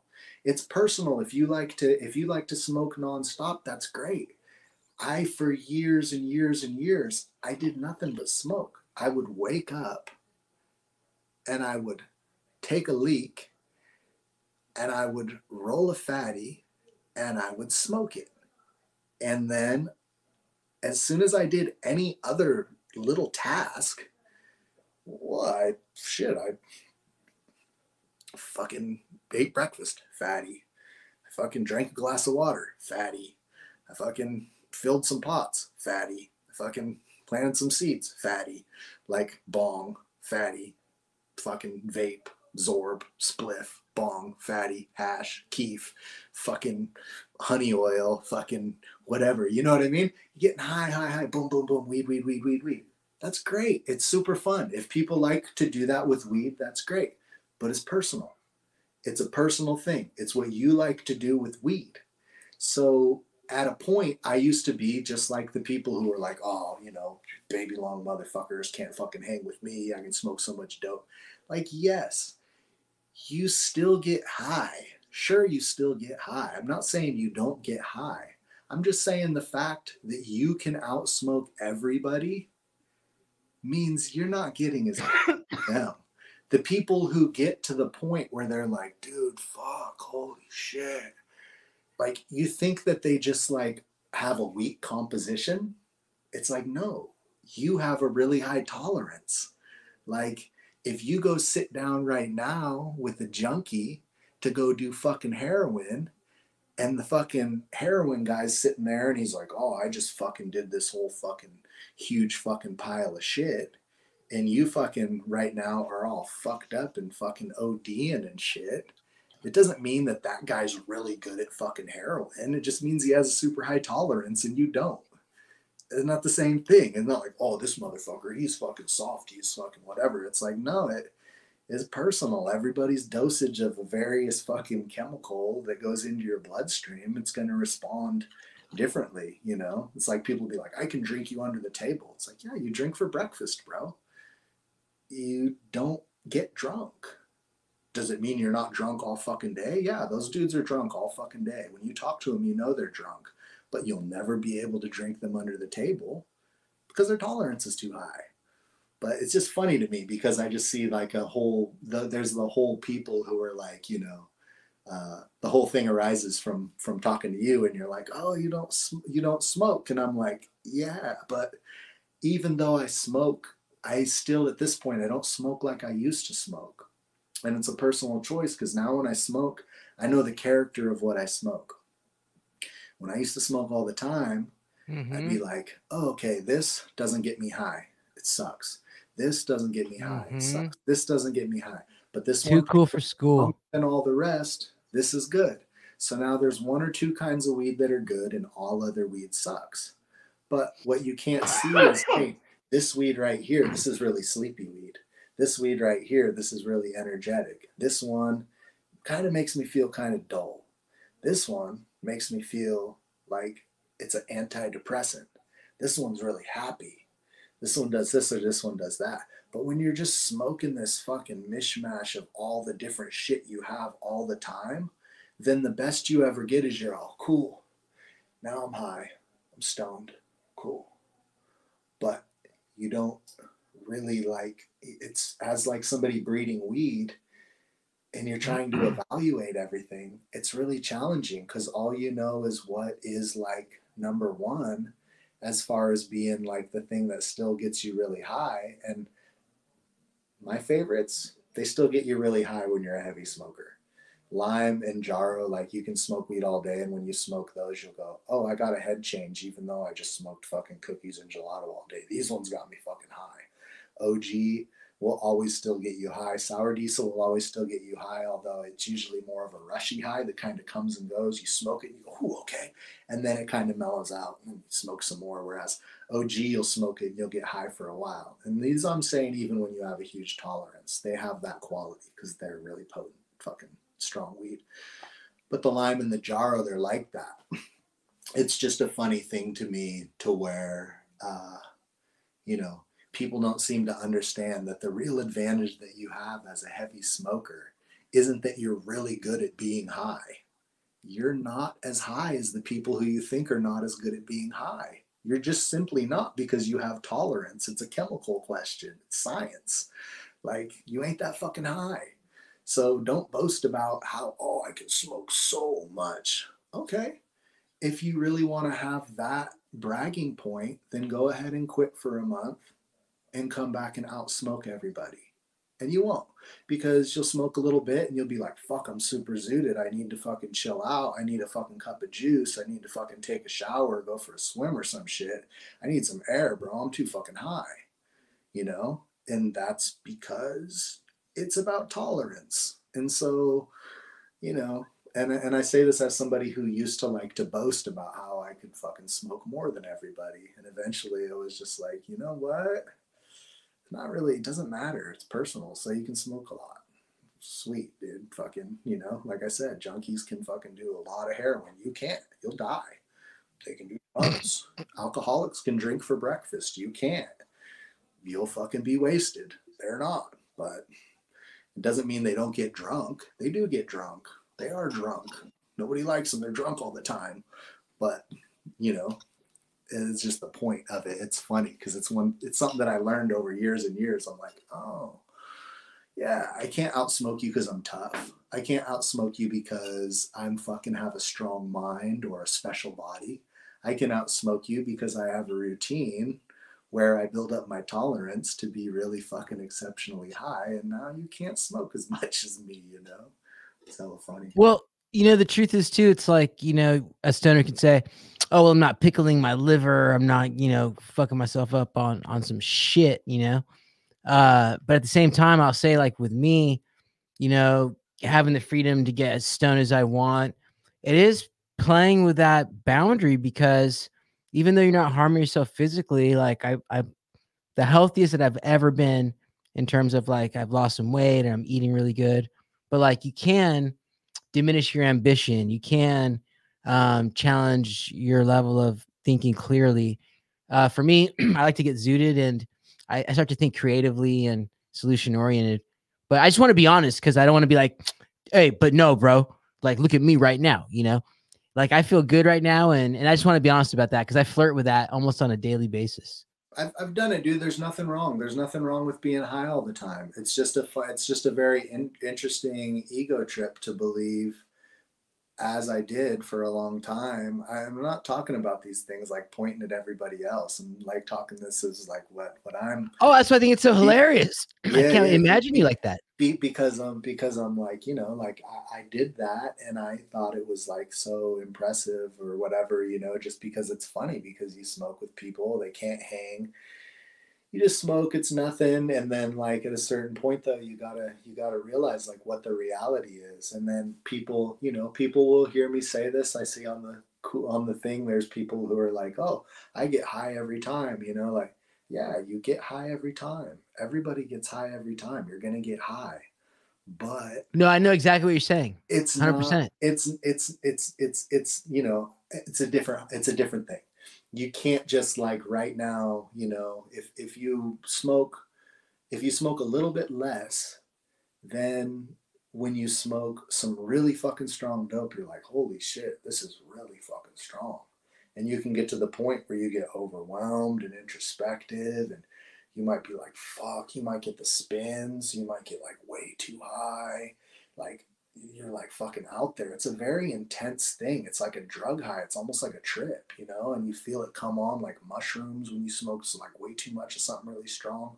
But when i smoked all the time i would never even get the littlest bit of that. Yeah. And then we'd smoke with somebody who wasn't used to it and they'd walk outside and throw up and lay down on the ground and you'd be like fuck i'm sorry bro. Like do, like you need to like eat some sugar or maybe like take a shower or something. Like fuck dude my bad you know and you'd be like laughing with your friends like dude we fucked this motherfucker up this is hilarious this dude can't fucking smoke you know and, and maybe it's funny too if somebody talks a lot of shit like they're the fucking you know, like they can smoke so hard and all this. And, you know, I get the whole thing. Like, I'm straight, dude, I'm from it. Like, I'm from, I'm from the fucking space in the culture where, like, you, you think you're the shit because you're weedier than everybody else. Like, I'm the fucking epitome of that ego trip, you know, back in the day. But it's just one of those things where it's like, dude, you fucking, it's up to, you know, if somebody, if I meet somebody and, they like to smoke a little bit of fucking weed, I don't assume that they don't get high. Like, if I meet somebody and I know they smoke nonstop all the time, I know that they really don't have the ability to get as high as that person that's kind of a rookie. Person that's kind of a rookie, bro, like they can get high. They're good at it.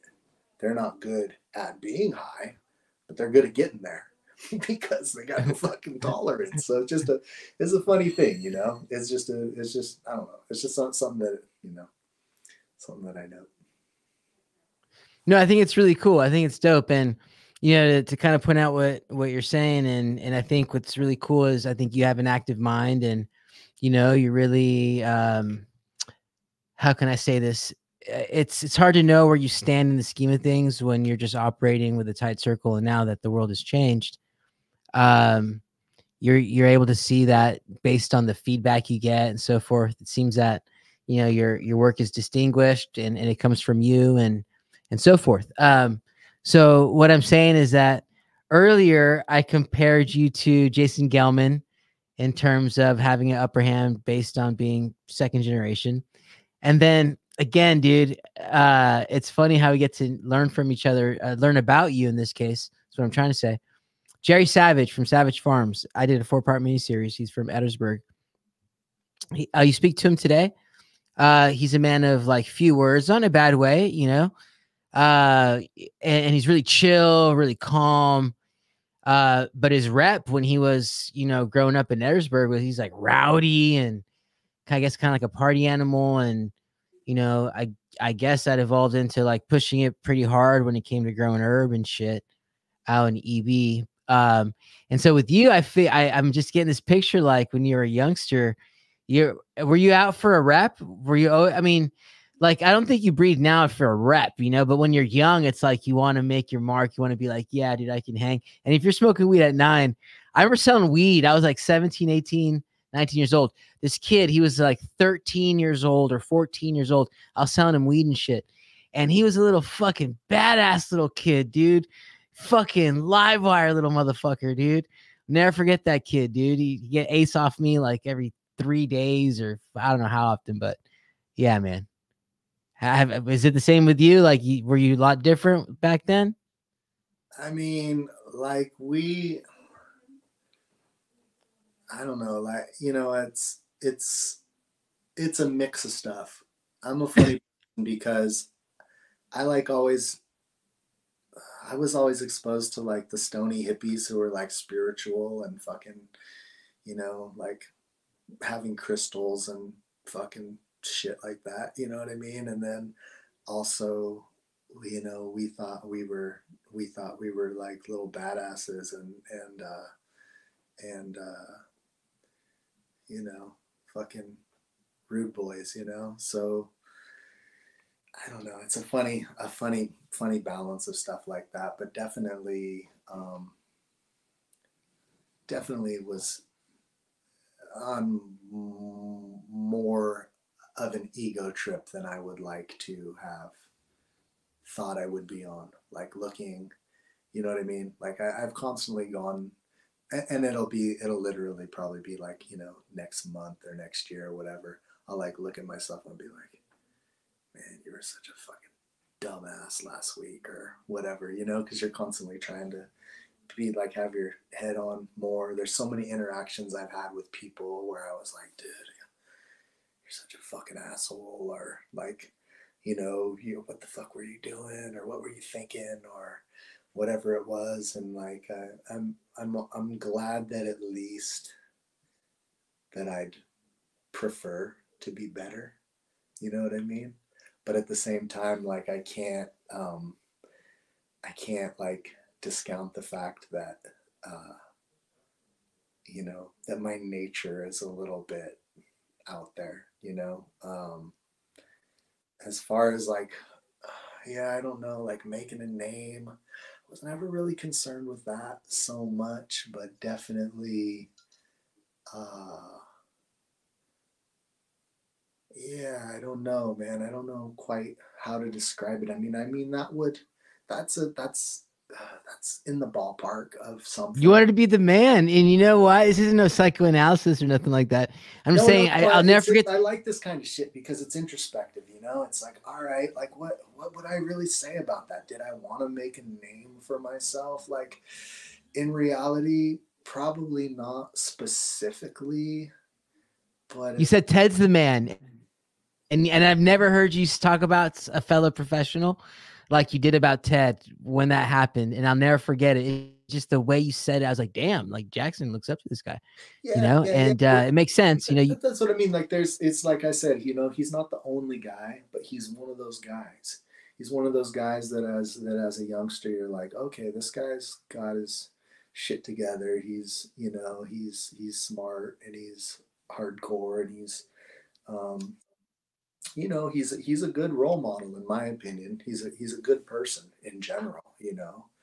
And uh, i would say that he i could say that he is somebody who wasn't out to make a name for himself he was out to make a life for himself right his towards elevating his life helping his folks doing good like that. And I would say that I couldn't I couldn't probably say that I was on the same level as him with being what I would call cool, meaning like, you know, good. You know what I mean? Like, oh, he's cool. He's a cool dude, you know? And I don't mean like cool, like, man, he's cool. I mean, like, no, he's a cool dude, you know? He's cool. He's chill you know i wasn't maybe maybe i wasn't as chill um but um probably yeah i probably had more weirder ideas of how things are and was a little bit more out there and um maybe well bro you're like nine more, years old you know what i mean that's young dude so it's like i can I, the only reason i can relate to that here in san jose i went to private christian school my whole life yet it's like you wonder how do I fit in? How do I like, you know, how do I do this? How do I do that? And I didn't start smoking weed till I was like 16, 15. but um I can imagine having the psyche, you know, or just again so young, immersed in that in the world, this multiverse.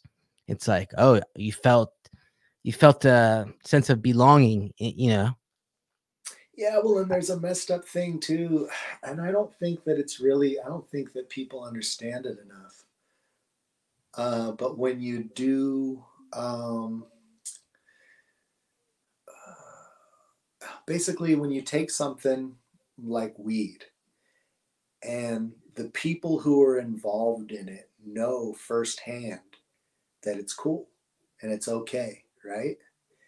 And you vilify it so I know for a fact, it's, a, it's put it this way when you tell kids all drugs are the same and then they try weed, right? It's well known that all of a sudden they go, oh, they must have been full of shit about all drugs. I might as well fucking smoke Coke now. So it's real important to tell kids, hey, weed is different than aspirin, is different than caffeine, is different than fentanyl, it's different than heroin, every chemical is completely different. There's not a thing called drugs. There's particular chemicals. There's one called mercury. There's one called fucking water. There's one called fucking oxygen. They're not all the same. They're all different fucking things, right? So when you take somebody young, in my opinion, and they know that weed is okay. But it's thrown in with all these crimes. So now replace my my previous idea as an analogy for crime instead of chemicals, right? So now imagine that when you tell a kid that weed is this horrible crime and that's how society looks at it, even though I know that's fucking bullshit, right? Then naturally what it does to your brain is it makes you think that that crime's not so bad you know what i mean so it changes your whole perspective on society because you go from thinking you know things you're basically like so what what the fuck is what is everybody talking about? Like you know this shit's all bullshit. Rules are bullshit, laws are bullshit, all that shit's bullshit. So then it takes you a lot longer, I think, to really know that ethics and morals and everything that's really in truth what's good right? That that stuff is good and stands alone not because society says so right? So it makes things a little bit weird when you analyze things as a person especially as a young person where you're like well okay so basically squares are a bunch of bitches and society is fucking bullshit and it's all fucking backwards and everything's totally fucked and it makes no sense. And then it takes you a long time to go hmm, no. That's not how it is. That's not how it is at all. Everything that is moral is moral because of your conscience it's not because of laws. It's not because of this or because of that. But do that with something like weed to a whole culture of people to the level that they did it, then you get a lot of people who are like, okay, so this is going to be a little harder to make sense of what is good and what is bad. You know what I mean? And uh, so then it's easy to think that, um, you know, people should be vigilantes or people should completely govern themselves or people should live completely outside of society or most of the people who you meet they're not like you. And all those basic ideas that for normal people would be like what? What are you talking about but that's what they do and they do it to huge groups of people and weed people are one of them and there's a lot of other groups not to get into like politics and shit but like there's it, it is how things are. And when that happens it causes these waves that wind up to where you're you're looking and you're going home well why do these people behave like this? Well these people behave like that because they've been basically turned into an other group. And when you turn people into an other group, then it's really hard to figure out which part of you is not the other, which part is part of the core group that shares all the principles with humanity that are all what it is. Because you're like, hmm, we're not treated the same. We're not told that we're the same people. So who the fuck are we? You know what I mean? And that's what the war on drugs did to a lot of different people. And you don't notice it that it happens. You just look at the world really weird until at some point it strikes you and you go, oh, shit. Okay. So I definitely need to re examine this antisocial undercurrent to everything that I fucking do, you know, and realize like, oh, okay, all right, people are pretty cool. Shit, I missed out on that for fucking 25 years or whatever. You know what I mean? Because you're thinking like, oh, I'm not, I'm not those people. I'm this other thing, you know? It's really trippy, man. And it's uh it's an interesting thing, interesting thing that happened with uh with all that but that's what that's what that puts in your head as when you're a little kid and you're like oh i can't talk about what is going on because it's you know we're not okay. We're the bad guy. Oh shit. So then once you're the bad guy you're like fuck it i'm the bad guy you know? Shit i don't really have to worry about any of the shit. Like do some bad shit you know? And luckily i never did anything that was really that bad. But in your head you just assume that you know you're those other guys. You're the bad guys. You're not the you're not part of like the good guys. Those guys are those are some other shit. And at the same time i knew that the, that we were the good guys on levels that other people were not the good guys if that makes sense. 100% the hippies with the fucking crystals and the goats and shit. You know what I mean? Like, oh, okay, well, I know this is good from experience, but I also know that this isn't the good that those guys think is good. The squares, you know. So I don't know. Weird, a weird thing, but a trippy thing because you, you know, that's just how you. It's how you, you how you, your perspective dictates how you process everything. That's your software, right? So eh, you wind up with these really weird perspectives, and it takes you a long time to realize, like, oh, okay, all right. So, you know, back to your question, like, did you want to make a name for yourself? Well, not as much on the level that you want to like have everybody know who you are because you really kind of are afraid to have anyone know who you are, right? But at the same time,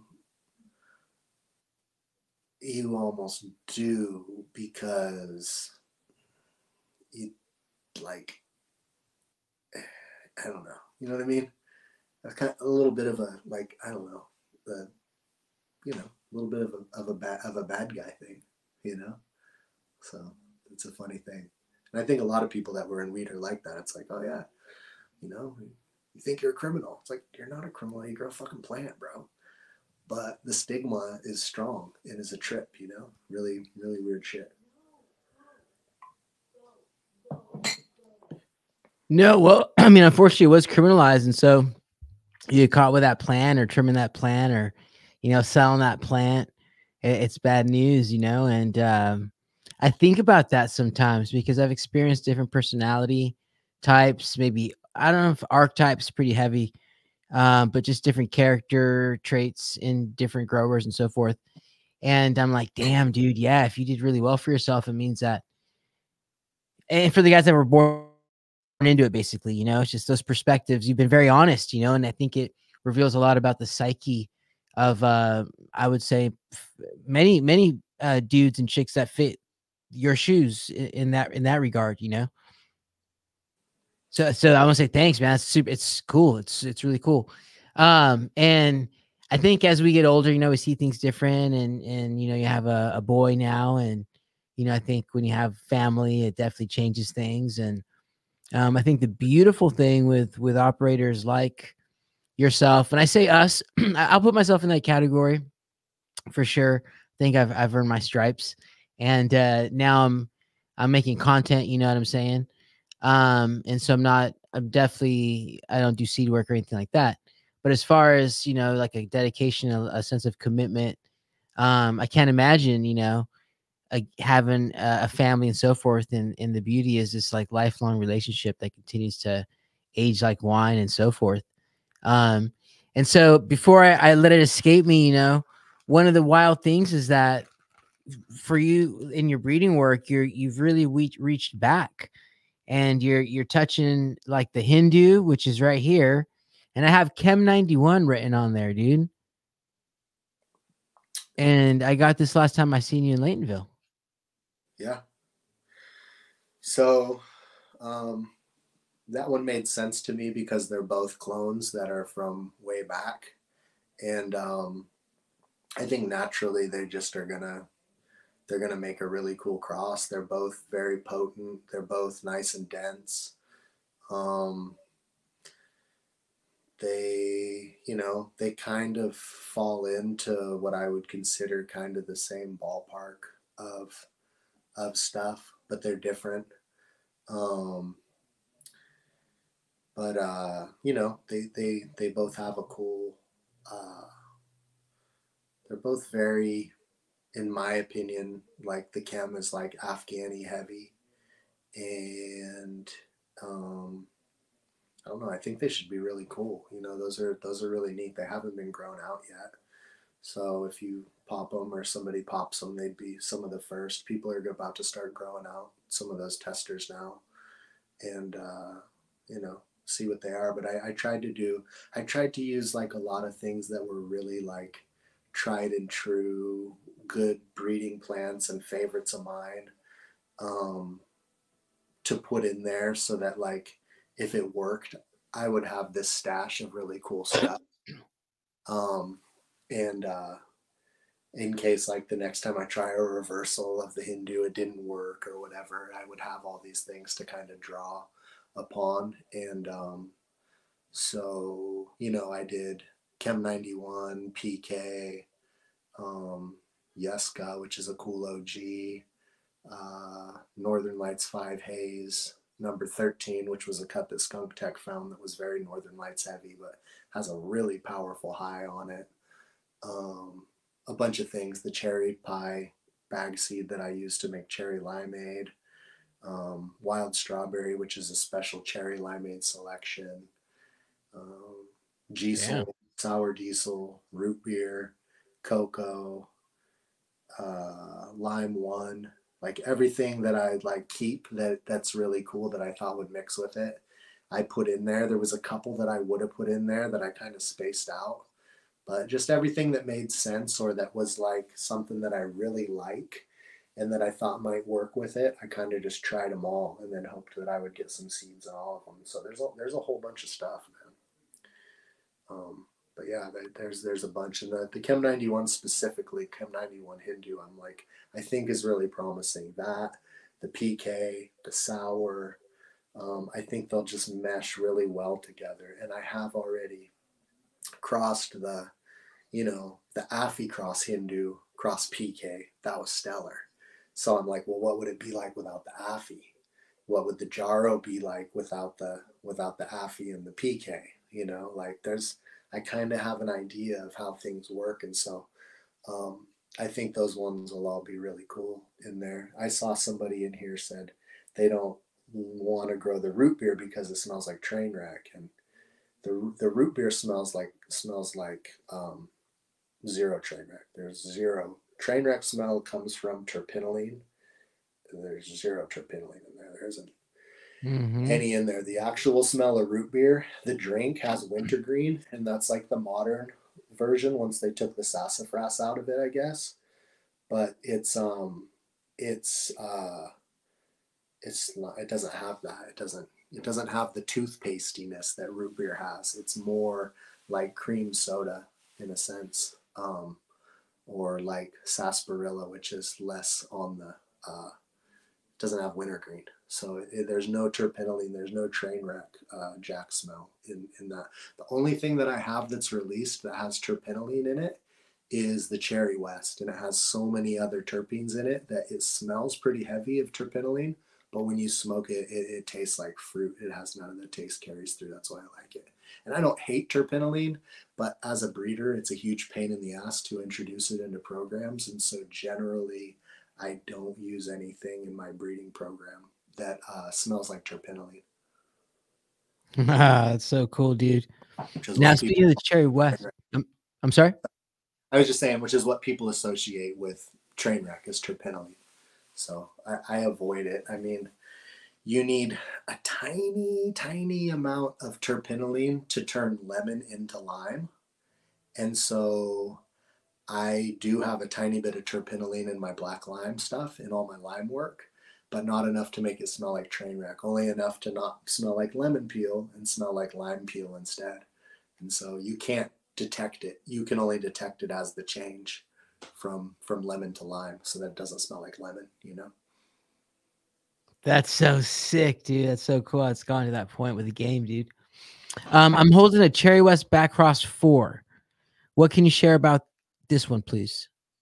Uh, so that's what I was just talking about, the Cherry West. So that was uh, originally I had the candelabra, and the candelabra was like um, this really amazing thing. It was one of the only plants that I ever grew that was really heavy on terpinolene. That um, that I liked, and I my buddy gave it to me. I was really excited. I started flowering it out, and I went, eh, "It smells like terpinolene," and I was super disappointed because there's a lot of things. If you're looking for it, it's funny they say it's a rare terpene, but it's very easy to be in everything, and a tiny bit of it.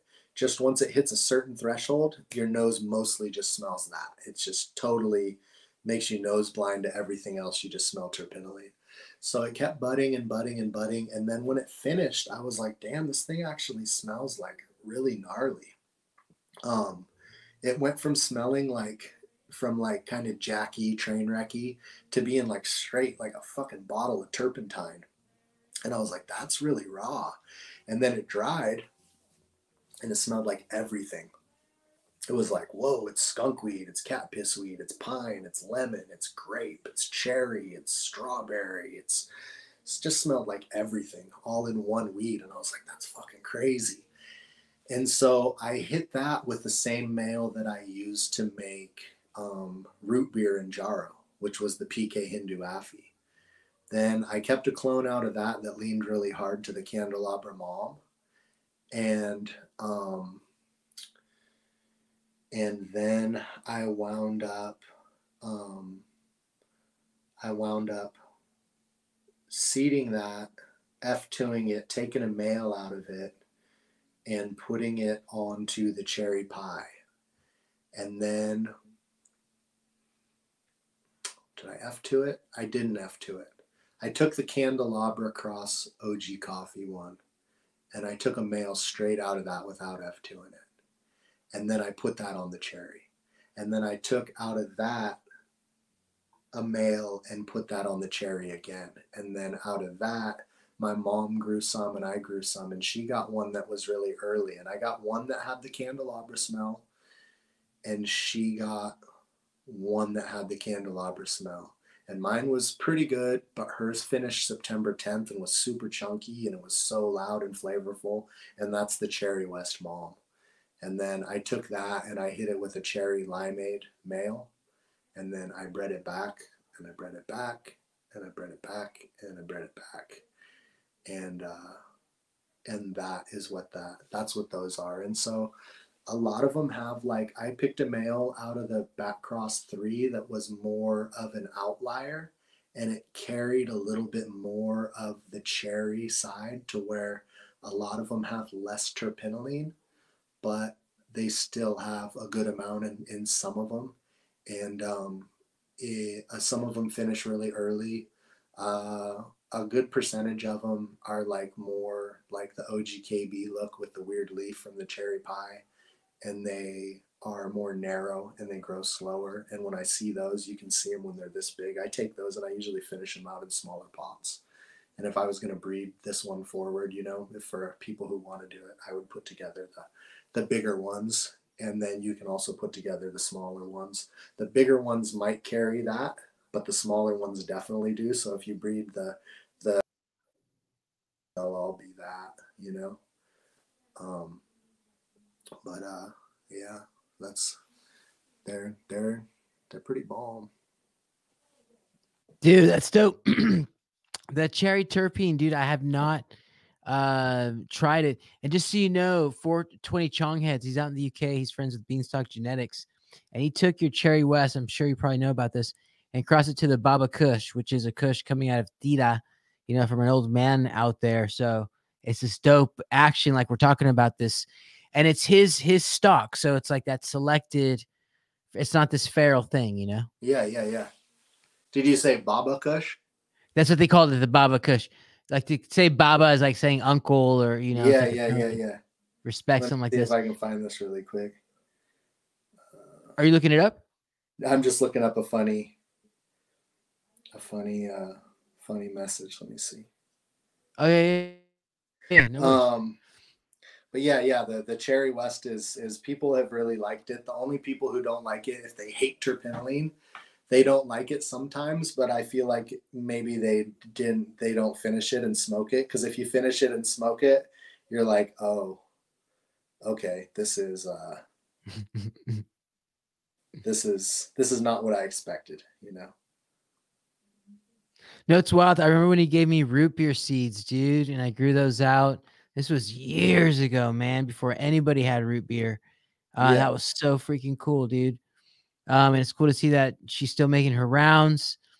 Um, as far as like what's going to be available on the website, it's going to be these two strains here, and then the last one that I have that's more like on the the just one of a kind tip, you know, like the Chem 91 Hindu, is this pink champagne Hindu. Oh yeah, that I I'm I that one's real promising to me. The pink champs is not the same as the original that's why I abbreviated a little bit, just so you know it's different.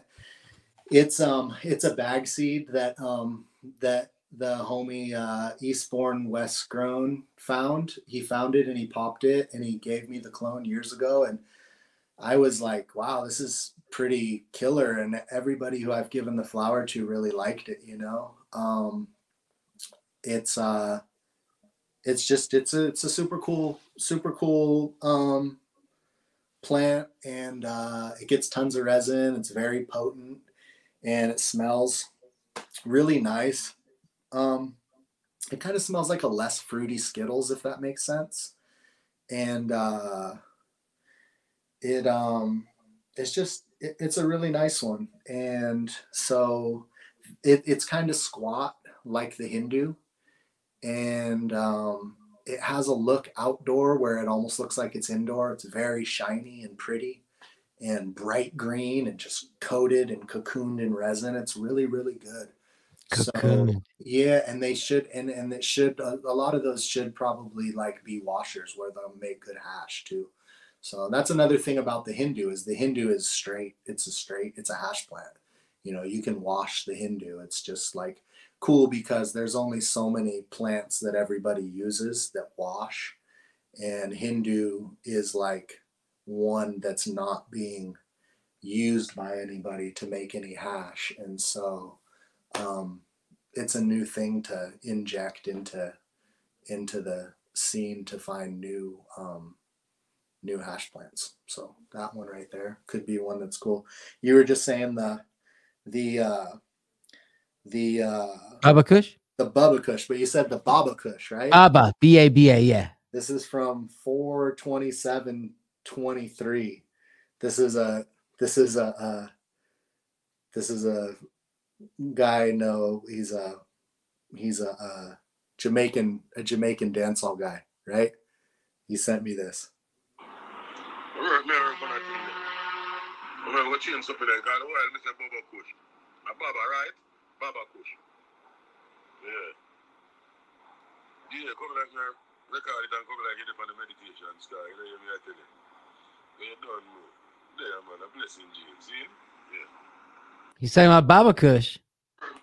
He said I was here and I was thinking about Bubba Kush, and he said, "You know what? No, I was thinking Baba Kush instead of Bubba Kush because, like in Jamaica, they have they have like a roots that they call Baba Baba roots.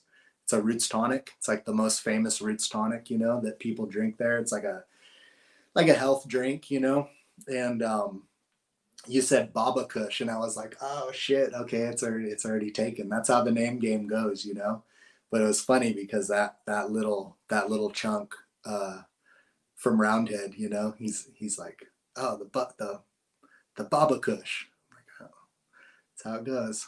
Sorry, rounds, it's gone. You know. Well, dude, I was in Jamaica, and so it's really hot and humid, as you know. And what's your perspective? I think the weed that I got was from a dispensary, and just like you go to a dispensary here, you're not guaranteed the good shit. Um, the weed that I brought with me was definitely better. Um, how, how would you talk about like because Jamaica's known for weed, right? Um, how can you talk about the reality of growing in these in this uh, kind of environment and how to get the chronic still? To be grown in Jamaica? Yeah. So the original weed that came I don't have my charger in here on my thing. It's I'm I'm only at five percent, so we might have a, an abrupt dropout out here. But maybe, maybe we'll wrap it off here if I if I can keep from from cutting out. So in um, in Jamaica, the weed that originally showed up was from India, and the people who still have it out in the country they call it the Indian, and it's made to grow in places like that. So it just naturally wants to grow there and it won't die in the droughts and everything and it won't rot in the rainy season. And then they brought in all the modern stuff and it didn't do as well, but it did well in certain places there. So now most of the weed all comes from um, the west side of the island where it's like pretty easy to grow and they can grow most everything there. Maybe like short indicas need a little supplemental light to keep them from budding too fast but um but you, you can grow really really good weed there um and it, they'd be better off growing the things like the original indian that which is like straight landrace sativa with thin buds and long flowering time that doesn't want to bud right away because they're so far south things want to flower because they're like on like a 12 and 12, you know? Okay. Thank you. Uh, so that's basically the, um, that's basically the uh, you know the, the trip down there. It's it's mostly a matter of like the know-how if they have a good place to dry it out of the sun. And um and uh, it's like being in the right right areas. And then if you're in the areas where it's more challenging and wet then you really need to have those things that were originally from you know um, India, or I'm sure you could pull off like things that are like Thai and Colombian stuff like that. But what has happened a lot is that they've started growing what back in the day, like what they called the skunk, which is just like the more thicker leaf stuff brought from California and Amsterdam. And um, now it's out there um, in the West where they really, you know, a lot of the weed used to come from like uh, St. Ann's, and that that uh, is like uh, more on the north of the island, and like all islands have kind of a there's a thing that happens where the south and the west i think because naturally because the whole island tends to be like a southwest face those are like the dry side. And the north and the east because they're like the shady side because of the way the sun is. If you're on a mountain in mendo you're like you want to be on the southwest side and it's dry and sunny. If you're on the northeast side that's where you look for mushrooms because it's dark and shady right well, every island that's not really huge, it's kind of like just one big hill.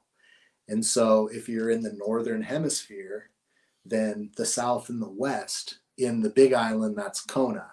In Maui, that's Lahaina and Kihei because it's shaped like an eight, so it has two hills. Um, if you're in, you know, if you're in Kauai, then it's like, you know, that then that that south, you know, Polihale, uh, Poipu, like that's like the southwest. That's where it's the dry side. So every island's like that. And Jamaica is the same way. So the wet side of the island used to grow a lot of the weed, but that was because it was the real Jamaican weed that didn't yield as well and everything, but it could do really well in that remote part of the island um, where it was very green and you could just plant a whole hill and the whole thing would just look green, you know? And then um, you know once they got one once things took off more then it's like you know if you listen to like old music from back in the day um they'll they'll mention like st ann's and weed there but they'll also talk about the west. But if you listen to newer stuff they'll only talk about the west because it's just like the modern stuff it grows better where it's uh, the, the the the the hotter drier side of the island you know? Absolutely man. And it's been such a rich conversation and uh you know i'm selfish so i want to keep going. I know you got five percent man and i know you know you've been sitting with me for a minute. I think rather than at the risk of it just dropping off mid-sentence i think i want to say thank you and um, I appreciate your time, man. And, and anything else you may want to say, you know, I think we should probably close out. It's probably a good time. Um, yeah, man. I mean, you know, my apologies for going introspective on the weed podcast and shit, you know. No, it's great. This is great. You know, I, cool. all mental breakdown, maybe. Not really, but you know what I mean. Uh no. uh and um, you know, fucking yeah, I don't I don't know, man. Like uh that was. You had uh, fun, right? It was good. It was all good. I had fun, man. I had my couple. Uh, I had my little shot of um, my little shot of fucking overproof and and uh, you know, a little small time party in here, and um, you know, just chilling, man. Yeah, it's great. Thanks everybody for um for checking it out, and uh, you know, it was fucking awesome. Yeah, yeah. Thanks, man. I just I would hate for it to cut off mid sentence. You know, I'm not sure how much time you have. Uh, I want to say thank you for again these few packs that are going to be available on La Paz International Seed Bank. And uh, my last question is: People always ask about your merch. What's the deal with your merch? Um, they can, um, if uh, they really want, they can um, buy your hat that you're wearing. And uh, no, I'm just kidding. Uh, there's there's there's only like a couple of those left and what i'm going to do is get another wave of um another wave of hats done. And what I'll, I'll probably do is I'll probably do some that are more like this one and a little more um, straightforward and simple. And then I'll get another one that's done. That's the crazy ones like that. That's all the pimped Sick. out shit. And, um, you know, they'll, they'll, they'll be available in a while. I'm planning on doing that pretty soon. And, you know, I need to get another run of some cool shirts and stuff. At the moment, I don't really have the new any of the new stuff, but I have been designing it uh, with my buddy Joey, a sticker farmer. We got some like some files made up and everything, and I just need to uh, basically pull the trigger and decide exactly which ones I want to do, and um, and there'll be some stuff going. Yeah, for sure. Dope, dope, Jackson. Yeah, yeah. Yeah, I can't thank you enough, man. And um, it's so cool. Uh, this is again big highlight. I've been waiting for this, you know. So um, good looking out, and I'll I'll see you when the time's right, man. I'll, I'll run into you sooner or later, and Yeah, we'll do it again in in the coming months, dude, for, For sure. sure, dude. Uh, and I appreciate you having me on. And uh, I uh, especially appreciate anybody who hung in for four hours of um, crazy rants of a fucking, you know, old weed head from the fucking woods, you know? Like, We got you. You that. revealed parts of yourself, dude. I don't know if you ever talked about some of this stuff publicly. oh, no, no, definitely not, man. You know, that's why, Yeah. that's why, that's why I should have smoked way more weed, but, you know, fucking A. Mission accomplished, bro. Love Yeah, you, yeah. man. And um, Yeah, I'll. I'll I'll hit you up, bro, for sure. Right on. Fucking A. All right. Peace, man. Peace. Peace.